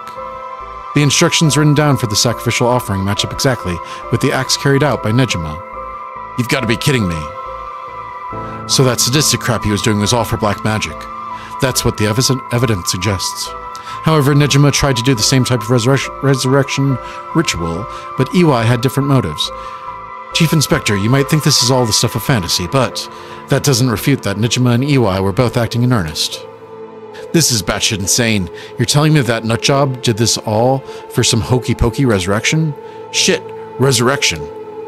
That means there must have been someone Nejima wanted to bring back to life. Damn, that's it. That has to be it. Fucking hell, it all makes sense now. What? What is it? So, about the Nejima murders. There's some information that's been kept from the public. Go on when we broke into his house and arrested him. We also found a baby. A baby? It was a girl, looked to be about six months old, but she was covered in filth. She looked so weak and sickly. We called the medics right away. If we were a second later, I'm sure the girl would have died, Mio. So was Nejima the father. He told us he'd found her under a bridge. He found her? She was abandoned? I've heard of parents threatening to leave their child under a bridge as a threat, but to think it actually happens. I suppose there's some cases with the dead newborns found stuffed in coin lockers, so it's not without precedent. Whatever the case, we never found out the truth. But there's one rumor, rumor from back then that I could never get out of my mind. And it's starting to sound more likely now. And it's starting to sound more likely now. Well, I'm sure this isn't the first time you've heard of it. Many believe Nejima's guilty of more crimes than what got him convicted. Back then, a lot of girls went missing. Yeah, I remember all of that. Among the high school girls that might have been murdered, or maybe I should say sacrificed, was a girl who was pregnant. Goodness. That's horrific. He killed her and dismembered her body, and we thought maybe the baby we found is what he pulled out from inside of her. Don't misunderstand me, this is all speculation on top of more speculation, you hear?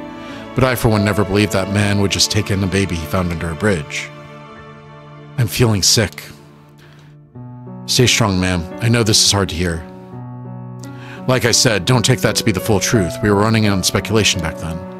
Now that this whole resurrection magic has come into play, we should consider the possibility that it was his child, and that maybe he was trying to revive whoever the mother might have been. It's just a theory, but my life would be a tad easier if it were true. That's an interesting thought. If there's anyone Nejima would want to resurrect, a deceased wife is as good as any, I guess. The fact that he obtained a curse stone suggests he has an interest in the rite resurrection. Damn, you're right. And here I was thinking that he was only after the curse's power to massacre. Um, Chief Inspector. Yes? What happened to the child? Without a birth registration on file, best we could do was find the girl some suitable foster parents. It was decided to keep the circumstances secret for the sake of the child's future. Well, I'm glad she was taken care of. Is Mio? Mio is the daughter? Don't mean to derail the conversation, but there's still more written in Iwai's journal. We know Iwai had managed to obtain the grimoire thanks to the advice he got from his idol, Nejima, while in prison. After conducting the research and gathering more information, he determined he had a chance to get rich quick. Right, he thought he could make some money if he could successfully use rejuvenation magic. Correct. Turns out someone get, uh, someone him gave him the idea. Turns out someone him gave him the idea. Uh, take out that first him. And get this. It was the one and only queen and chairwoman of Hihaku Soaps herself, Natsue uh, Yamamori. Wait, the chairwoman of Hihaku Soaps? So that's where this leads. Here, let me read what he wrote. The queen of Hihaku has a strange fear of growing old. Her fear of death is even worse. If she doesn't die, she wishes to be revived. She will spend whatever it takes to preserve her beauty. Magic, rituals, and rites, she'll use whatever means necessary. Her tenacity is unbelievable. She was apparently investi investing money into any research on resurrection, the restoration of youth, and the like. Hmm, so she would even throw her money at the occult. The, place the place's greed will take you. Well then, that brings us to Hideki Araishi. She presumably funded his research into the rite of resurrection as well. That's what it all points towards. I wouldn't be surprised if the Witch of Hihaku pounced on the rumors of the rite of resurrection. It's starting to sound likely. Might also be why she's spreading the rumor about having godly powers. It's a convenient cover for if she becomes young again. Godly powers? What's that all about? Ah, uh, you can ignore that. Either way, I think Iwai took the payments he was getting for his research to her family into taking him in to keep a low profile. The Shiraishi family, Michiyo, and her mother, Toshiko, were just as unlucky marks. And this is where you get involved. Are you feeling steady, ma'am? Huh? This is something to do with me. Are you saying that? No, you can't mean. You've realized then. Perhaps.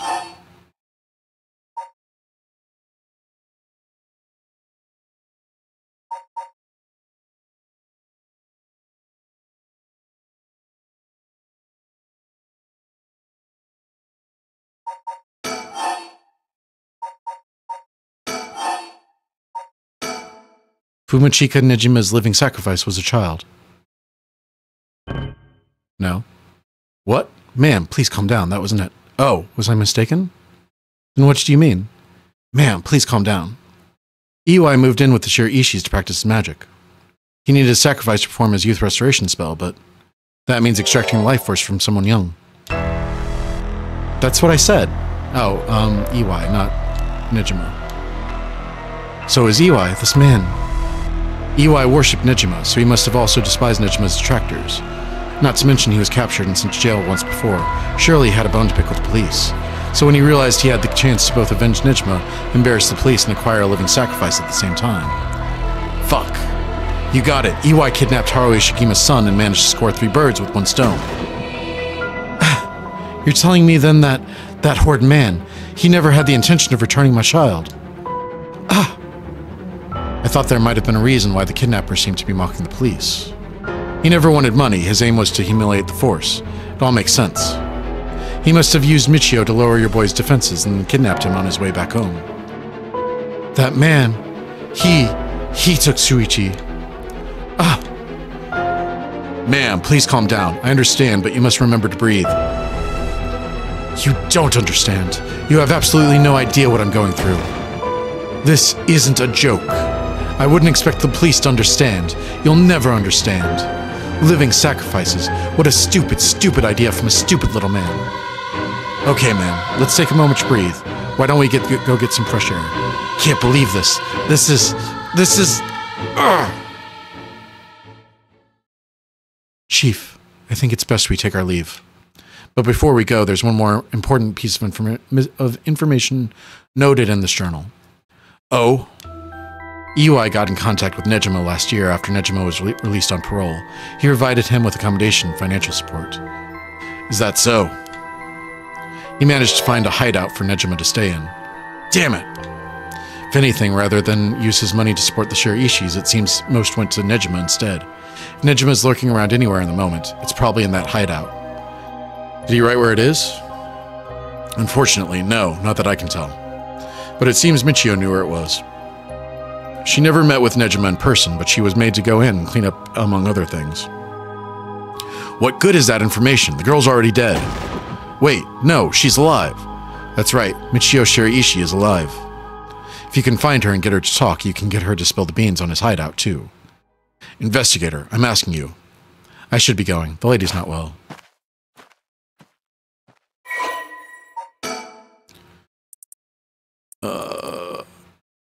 Kenkichiro once made a living by placing advertisements in magazines to sell phony magic items and good luck charms.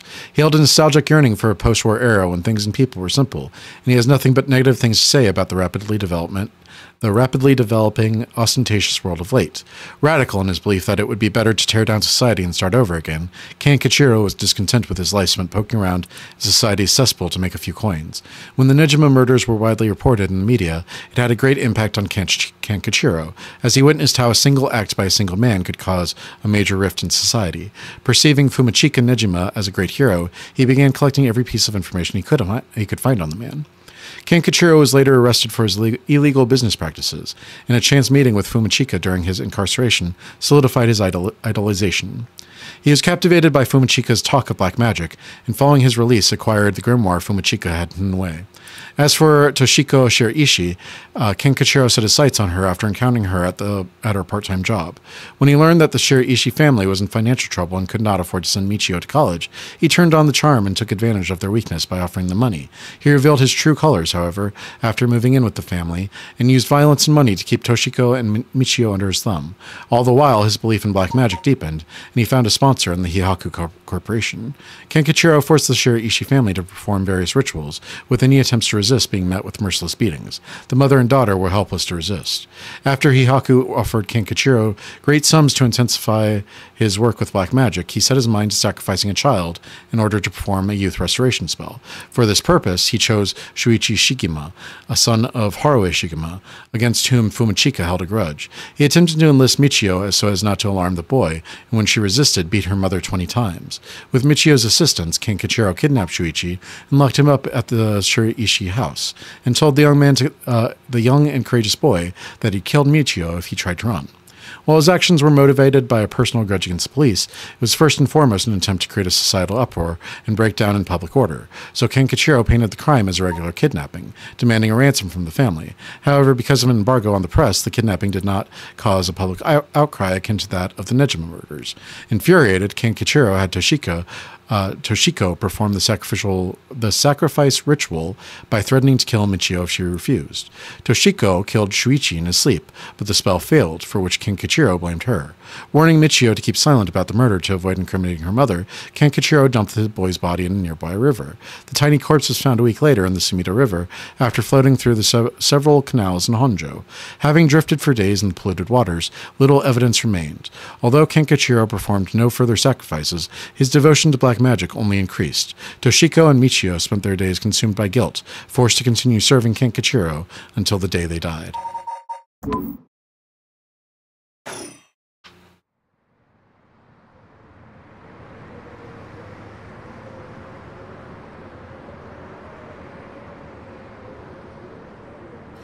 Are you feeling better now that we've got some fresh air, ma'am?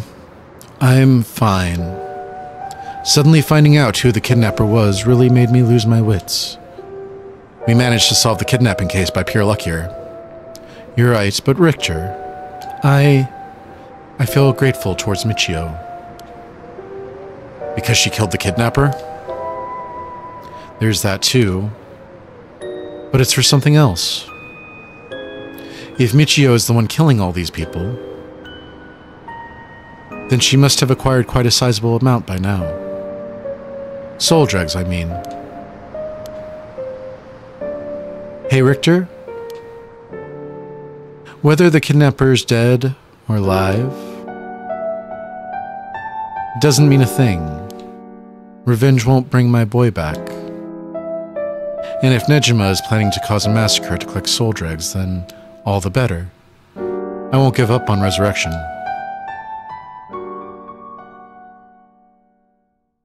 So, I'm counting on you. The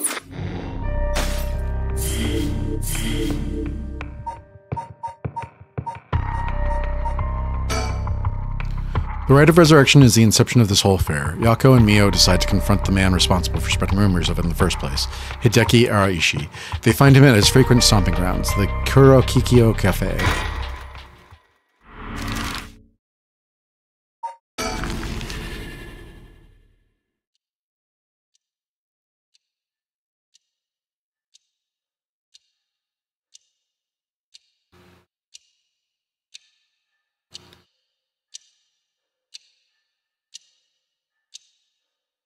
You know, normally you'd be breaking school rules just by stepping foot in a cafe. I'll be in uh, hot water if you lied about having permission from the police. Remember that. We know. It'll be okay. So, what did you want to ask me? Uh, can't check our surroundings or anything. It doesn't look like. Okay, inside. A cafe. I've never been to one before. How exciting. It's pretty smelly inside because of the cigarette smoke, but. Kuro Kikyo Cafe, a, cafe, a coffee shop in South Warigesui Street. Kuro Kikyo Cafe's convenient location has made it a favorite of businessmen in the neighborhood. Uh, although the formerly relaxing location where classical and jazz music were played, the cafe has begun incorporating some pop songs into its playlist at the request of customers. The most popular menu item is pilaf served with black coffee, although cream soda topped with a large scoop of ice cream is also a popular choice. Fashionable cafes featuring jazz and live performances were in vogue until the mid Showa era, when a number of cafes offering a carefully brewed cup of coffee in a relaxed atmosphere began to increase. Many of these locations also have public telephones, making them convenient meeting places. However, they also developed a reputation as hangout spots for delinquents, leading a large number of schools to forbid their students from patronizing them. In recent years, table arcade games have become a big hit, affording uh, cafes installing them a steady stream of customers. A kidnapping and murder case that took place in Honjo, Sumi, uh, Sumida, around one year ago. Harue Shigima's son, Shuichi, age 11, was kidnapped on his way home from school, with a ransom being demanded that same evening. Initially, the kidnapping was thought of as a simple extortion scheme, uh, but when it came to light that the Shigima family was closely tied to the police, and Shuichi was in fact the grandson of a senior official, it was quickly assumed that the perpetrator was acting upon a grudge against the police force. The kidnapping was treated as a direct attack against the good name of the police, and a large scale investigation was launched that used the best equipment available to trace phone calls. This made it more embarrassing when they were unable to catch the culprit, losing the public's confidence. The culprit grew cocky, relentlessly mocking the police, uh, the police force. After three days of failure after failure, Harue reached a breaking point. Spurred by concern for her son, she resolved to hand over the ransom money as fast as possible, but her husband and father, who held the prestige of the police in high regard, refused, saying that they would not let the criminal win by giving in to their demands.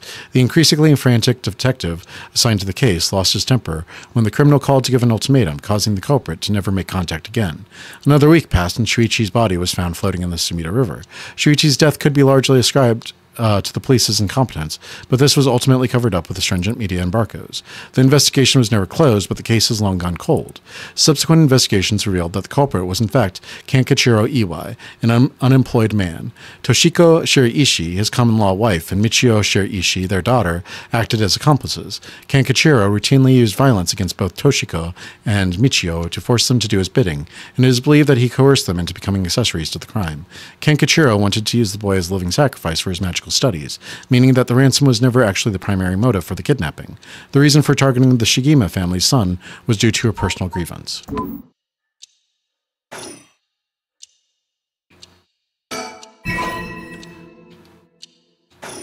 We found a mocking- mockingbird. Yakko, if you would. Right, we wanted to ask you about this. Oh my, a curse stone. An Okami mask. That must mean the Fool's Procession. You two were at the school last night. Damn, there of all places. Yakko, you're one of them. You're a curse bearer. Um, uh, please calm down, Mr. Arishi. Your reaction is too intense. It's kind of scaring me. Sorry about that. I'm afraid I got ahead of myself. What is it you wanted to know about your curse stone? Hmm. What would be the best way, best way to approach this? It's just a brilliant teacher like you must know an awful lot about these curse stones. Well, it's true that I'm likely the person mo- most well versed in this matter. You're the only one we can count on, Mr. Arishi. Won't you help us, please? Oh, am I now? In that case, there's no ha- harm hearing what you have to ask. Thank you. Let's see. Why is everything with the Rite of Resurrection and Seven Mysteries Curse Stones happening now? Oh, taken an interest now that you've received one with curses, have you? You sound like a researcher, starting your questioning with your subject's origins. Uh, Mr. Ar- Araishi, you're not the one who triggered the curse, are you? No, I'm afraid I had nothing to do with that. Rather, I wasn't even attempting to do so in the first place. Completing the rite itself has nothing to do with my research. Then, do you know of the ancient Onmyo- Onmyodo ritual known as the Feast of Shadows? What is that? Something from the occult? Miss Kurosuzu, you look like the type to be interested in those things, but it's outside of my field of expertise. Um, in that case, why do you think the rite and the curses have appeared now? I believe this is the intentional work of someone. Hmm, it's certainly not something that would happen by accident. Why is it you want to know? Well, uh, he may not tell us anything else if we say that we're trying to stop the curse. We need to make something up. Right. Well, you see, we just have such intellectual curiosity, and uh, I think it could really help your research. I see, now that you mention it. Seems like he's reluctant to answer. Hmm. And how about... Um, then, what does that record of fates that you've been researching say about the rite of resurrection? Oh, I see. That's what you want to know. Allow me to first elucidate you regarding the author of the Record of Fates. A special privilege, I might add, since I have yet to publish this in a paper. Yeah, okay. The Record of Fates was written 200 years ago in the latter half of the Edo period. It was written by a skilled but little known onmyoji called Simon uh, Tsuchimikado. This is important stuff. If nothing else, remember this. Simon Tsuchimikado. I've never heard of him. I'm sure you haven't. He was born into a famed Onmyoji family, but split away to practice forbidden arts in secret. He used whatever name was most convenient for the situation, so his real name barely exists in records, or so it is written in the Record of Fates. Huh? As brilliant as Simon was, he was also an eccentric. He delved into the researching the Rite of Resurrection, a legendary forbidden ritual that had never been completed. However, by involving himself with this forbidden ritual, he was expelled from his family, and eventually found himself in Honjo and Edo. The Record of Fates are the writings Simon recorded on the road to Edo. I see. So he wrote about how to perform the rite itself? The Rite of Resurrection makes use of Abe no Simon's specialty, the Taizan Fukun ritual, a means of communicating with the afterlife. He uses soul dregs to replicate the soul of a dead spirit that has been called. Oh wow, I never knew something like that existed. Thus, it is thought that only ones who can use it are those with the ability to turn human souls into soul dregs in the first place. So the rite of resurrection calls for that ritual to be performed in advance. Then, when the soul dregs are gathered and infused with the wish of whoever is performing the ritual, it can be completed. The contents written in the record of fates in there. There's no more? What about the seven mysteries or the curse stones? There's nothing written about them in the Record of Fates. The curse stones are separate from the Rite of Resurrection. Their curse is one used to enable one who is unable to. Their curse is one used to enable one who is unable to perform such rituals to be able to use the rite. Huh. That's similar to what Mio said, actually. Uh, according to the Record of Fates, this mysterious ritual was devised by the gifted Onmyoji Abe no Simon, Saime, uh, it converts the souls of the dead bound for the underworld with soul dregs collected as sacrifices through the Taizan Fukun ritual. This secret art of converting souls to soul dregs is out of the reach of all, uh, to all but the most skilled practitioners. Onmyoji, uh, Onmyoji, an officially appointed government position with the Bureau of Onmyo in medieval Japan. Onmyoji were tasked with performing divinations and rituals. They would employ the Chinese philosophies of yin and yang and wuxing, the five elements, to compose astronomical charts and almanacs. High ranking practitioners used a variety of mystical arts, including ones that brought natural disasters and curses. Onmyoji were also tasked with exorcising demons through the usage of shikigami. Uh, Onmyoji thrived during the Heian period, in part due to the work of the famous Onmyoji and later founder of the Shi- Sh- Suchi uh, Mikado clan, Abe no Seimei. However, Onmyoji began to gradually decline in number after samurai gained control of Japan. At the same time, many of their miraculous arts were lost along the, with the development of civilization. Although the services of Onmyoji were typically reserved for the upper class, there were a number of Shomonji, or hidden Onmyoji, who worked for the common folk. And there's the mockingbird we found. Uh, excuse me, Mr. Arishi. What is it, Mrs. Uh, Miss Kurosuzu? You published a theory before the incident took place. It said the rite of resurrection and origin of the seven mysteries of Honjo are related somehow. What proof did you have of that? You really know your stuff, but about that, that was what somewhat sensationalized piece written for occult magazines. Oh, really? It was just nonsense then? Not exactly. Rather, it's not a complete fabrication. There is a basis for it. And that is?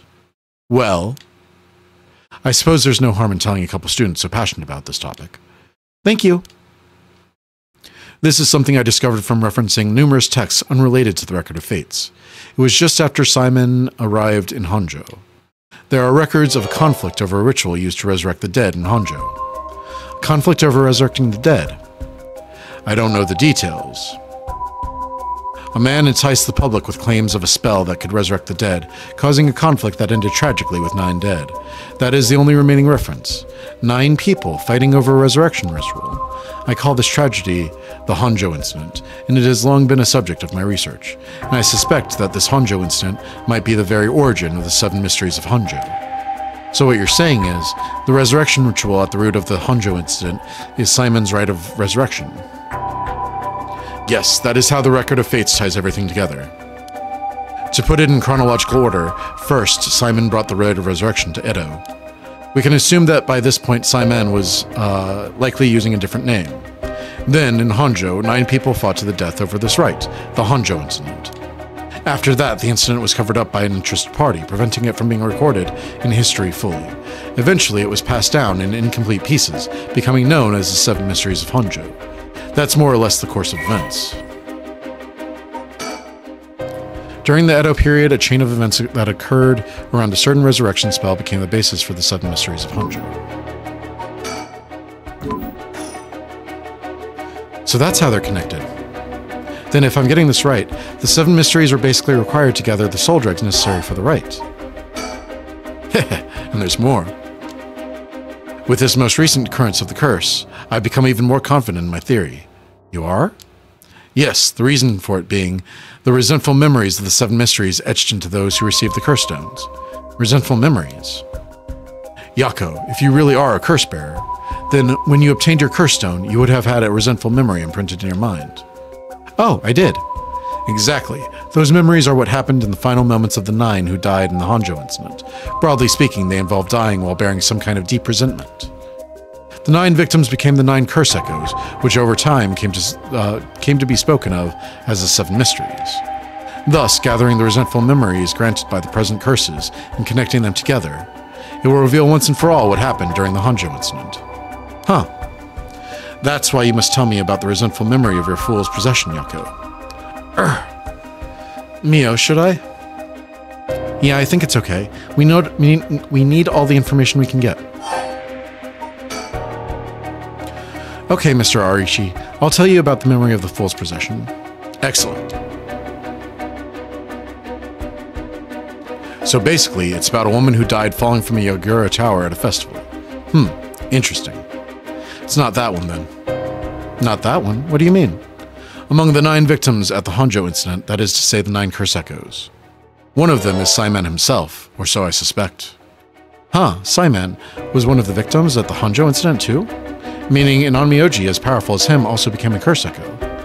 Right, it would make sense that the curse stone tied to a curse echo like that would be special. The power of a curse stone is different. Uh, the power of a curse stone is different based on a curse echo? Mio, Mio, Mio. Then maybe the Simon's curse echo we could. Yes, we may be able to settle this whole situation. Hey, what are you two whispering about? Oh, nothing, sorry. Mr. Arishi, how many of those resentful memories have you gathered so far? I have learned a number of them. The Evergreen Beach, the Foot Washing Mansion, the Ever Burning Lantern, and now the Fool's Procession make four. Of those, the most important are the Foot Washing Mansion and the Evergreen Beach. What are they about? First, the Foot Washing Mansion. An Onmyoji appears succinctly in this one. Really? But not Simon, I'm afraid. A female Onmyoji who sought the rite of resurrection due to her obsession with her personal appearance. Her legs, which she had always taken pride in, were stricken with corruption after she was defeated by Simon, her curse echo is notable for being particularly easy to fulfill the requirements necessary to use the curse. That detective did well to escape this one. So a female Onmyoji in Arrival Simon was involved on the Honjo incident. That certainly is interesting. Next, the Evergreen Beach. The curse echo is from a craftsman of Netsuke carvings named Junkichi, who was hanged for spreading baseless rumors. He apparently spoke of something that granted the ability to bring back the dead, the rite of resurrection. Precisely. The man, this man, Jinkichi, must have been in contact with Simon. If I could just collect all of those memories, everything will be revealed, and the truth of the seven mysteries will be mine. That is the knowledge I desire. Meaning you need to gather as much information as you can from the curse bearers. Precisely. I have an agreement to exchange information with those detectives, but they might not even find the other curse bearers, so I must take measures of my own. Another thing. Yes? You never really finished about what the trigger for all this was. Well, um, I don't know. Really? You're not hiding something from us, are you? It has something to do with how you obtained the Record of Fates, right? How did you really get a hold of the Record of Fates? To tell you the truth, we're in a race against time. It could be a disaster if we don't hurry. What are you talking about? Someone left a warning that at sundown today they would use the curse to kill a lot of people. The one who left that message is the culprit behind the Nejima murders from 20 years ago. What? Something so terrible will happen? I won't allow potentially hundreds of people to become victims of a curse. I'll do anything in my power to stop it. Mr. Arishi, please tell us everything you know. I'm sorry, but I truly don't know anything. The truth is, I was given the record of fates by a woman. A woman? Well, her voice sounded like a woman's, but I didn't actually see what she looked like. One month ago, while I was investigating at night, I suddenly heard a formless voice. A woman's voice. It said, I entrust you with this ancient manuscript and the rites of resurrection held within its pages. Spread rumors of this ritual as far and wide as you can in the coming month. And before I knew it, an old document had fallen down at my feet. One month. She specified the time period? I was told if I did that, I could study the manuscript as much as I pleased. I wanted so badly to verify its authenticity, I ended up accepting. I haven't heard anything from the voice since then. Must have had you spread rumors in order to strengthen the power of the curse, to tie together the curse and the desire to seek out the right. This makes it likely that, likely that the owner of the voice is the mastermind behind all of this. Hence, I went public with record of fates. Hihaku in the occult magazine immediately jumped at the news. Immediately jumping at the news was a financial boon for me. Ah, Hihaku? As in Hihaku soaps? Right, I mean, no, that's not important. Just some personal business. After that, I waited, trying to predict what would occur in a month's time. That's when the curse began. Those are all the details I have. Very well. I've told you this much. I may as, tell, I may as well give you one more thing. Thank you. What might that be? About Simon's Record of Fates. There is a sort of continuation to it, another document called the Record of Fate's Yin Scroll. A continuation? Actually, a section written in Simon's own hand was appended to the manuscript, according to which, after the Honjo incident, Simon lamented such a calamity taking place. He apparently wrote the addendum for the event that the tragedy became its own curse. He apparently wrote the addendum for the event that the tragedy became its own curse. It seems he had an idea that the victims of the Honjo incident would turn into a curse echoes and be used to gather soul dregs. It supposedly details how to handle any trouble that occurs as a result of the rite of resurrection. Really? Hold on a second. Don't you find that strange? What's the matter, Miss, Miss Sakazaki? You think my information accurate? Simon died in the Hyatt Honjo incident, then he couldn't have written an addendum. You really don't get it, do you? Huh? Am I wrong? Have you forgotten the ability Simon possessed? Of course not. He could use the rite of resa- Oh. You're telling me Simon used it on himself? The rite of resurrection can be carried out in advance so that it activates when the soul dregs are gathered together. Then, is it not possible that Simon himself was resurrected by the rite after it all took place? But he'd still have to collect the soul dregs needed to use the rite. Yes, and that's why they died. They ate others besides Simon. What? They died in the Honjo incident for their soul dregs? That sounds like it's the same as what's happening now. That's why I need the resentful memories to learn the truth. I get it now. The issue at hand is that the Yin Scroll and the Record of Fates were supposed to have been passed down as a set. When I received the Record of Fates, the Yin Scroll was gone. Only this information was left. Supposedly, Simon's blood descendants guarded it as they passed it down across generations. It seems that over a long his it seems that over their long history, the two documents became separated and the scroll's location lost as the family line branched. Simon had descendants, so there's someone out there related to him by blood even now. Yes, in fact, I've tried to trace the line as far as I could. He wasn't a well-known Onmyoji to begin with, so a detailed family tree does not exist. It seems likely that the use of the manuscripts has been long forgotten, only being passed down out of tradition. And since they aren't even aware of what they have, tracking it down is quite, quite tricky indeed. I wish I could ask whoever that voice belonged to about the Yin Scroll. I'm sure you do. So basically, in the Record of Fate's Yin Scroll, Simon himself wrote about ways to handle the curse in the right, yes? Yes, that's right. I've been searching for it all this time, but haven't found a single lead. So if you two find out anything about other resentful memories or Yin Scroll, tell me immediately. You owe me that much for telling you all this, do you not? That's the real extent of everything I know. An old manuscript from the Edo period. Uh, the manuscript was written by Simon uh, Mikado, an Onmyoji from the Edo period. He was an extraordinarily adept pr- practitioner, but after being banished from his family for researching forbidden arts, he changed his name and moved to Edo. It is said that Simon Tsuchimikado, author of The Record of Fates, wrote the Yin Scroll because he feared that the descendants of those involved in the Honjo incident might become cursed and used in the collection of soul dregs for the Rite of Resurrection. The existence of the Yin Scroll was indicated in a postscript added to the Record of Fates, but its whereabouts are currently unknown. It is believed to have been inherited by a descendant of Simon. Yes, I understand. Thank you for your help. If you bring me some useful information, I'll take it into consideration for your school grades as well. Haha.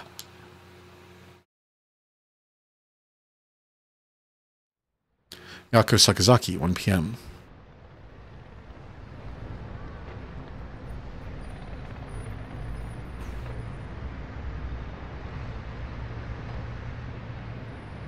We've learned a lot. So, to sum it up, there was a tragic incident with people cursing each other for the Rite of Resurrection in the Edo period as well. And the Record of Fate's Yin Scroll may have info we want, since it details how to stop the rite. I think that's about it. Right. If we could just find the Yin Scroll, we might be able to learn how to settle the situation. But even Mr. Arishi didn't have any leads on where it is. How do we start looking for it? Someone involved in this now must have some connection to it, I think. I have a feeling the mastermind who awakened the curses is involved as well. Right. So, Mio, what are we going to do next? Good question. It may be best to give the information we just learned to Inspector Tsutsumi. We got a pretty big clue from hearing about the Record of Fate's Yin Scroll. Mr. Tsutsumi might know more about it. Should we go back to school then? Yeah, that's our point of contact after all. Whoever's behind that voice that gave Mr. Arishi the Record of Fates, that must be the mastermind, don't you think? Yeah, and he said it sounded like it belonged to a woman. Whoever it is, I bet they're scary. Huh? You don't sound like the Yakko I know. Then let's catch him and make him spill the beans. Thought you'd say something like that. Really? I guess I'm just not really feeling that confident right now.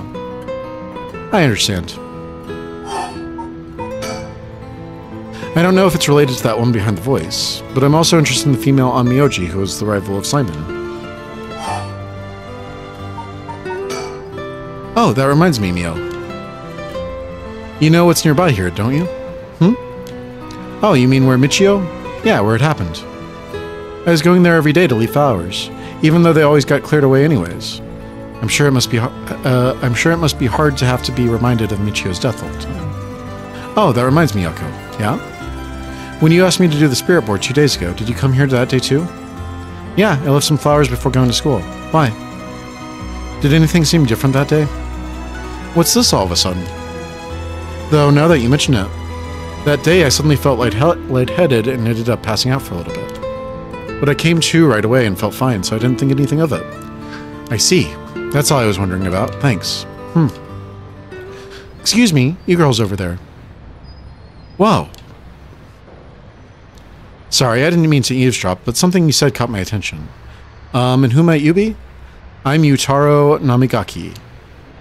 Er, I should probably tell you. Until yesterday, I was a curse bearer. That should clear things up. A curse bearer?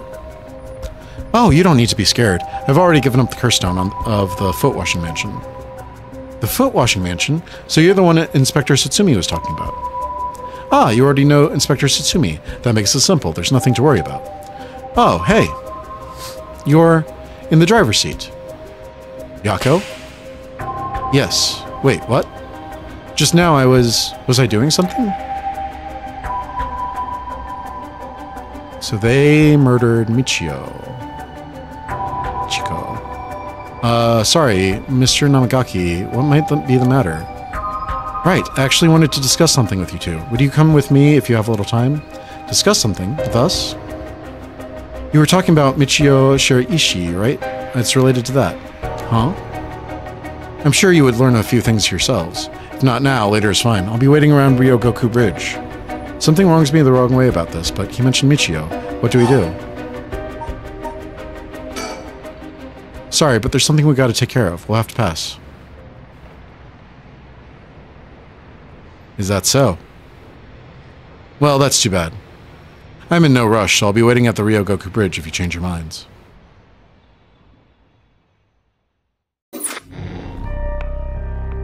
Uh, so I think that think that that locked one is probably for um, the continuation with them.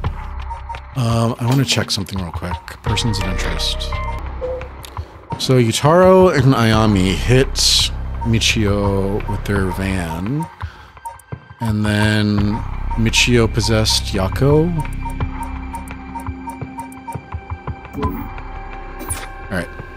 Um, I'm going to cut the video there. Uh, so my understanding of events, it would help if there weren't so many stories going on.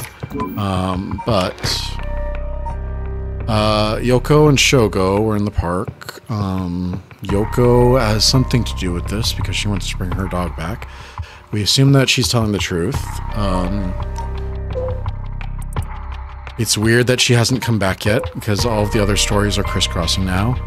Uh, Harue, there's something wrong with her. She is looking for revenge. She has a fascination with death. Uh, she wants to bring her son back. Uh, son was murdered. Uh, Richter Kai is a private investigator.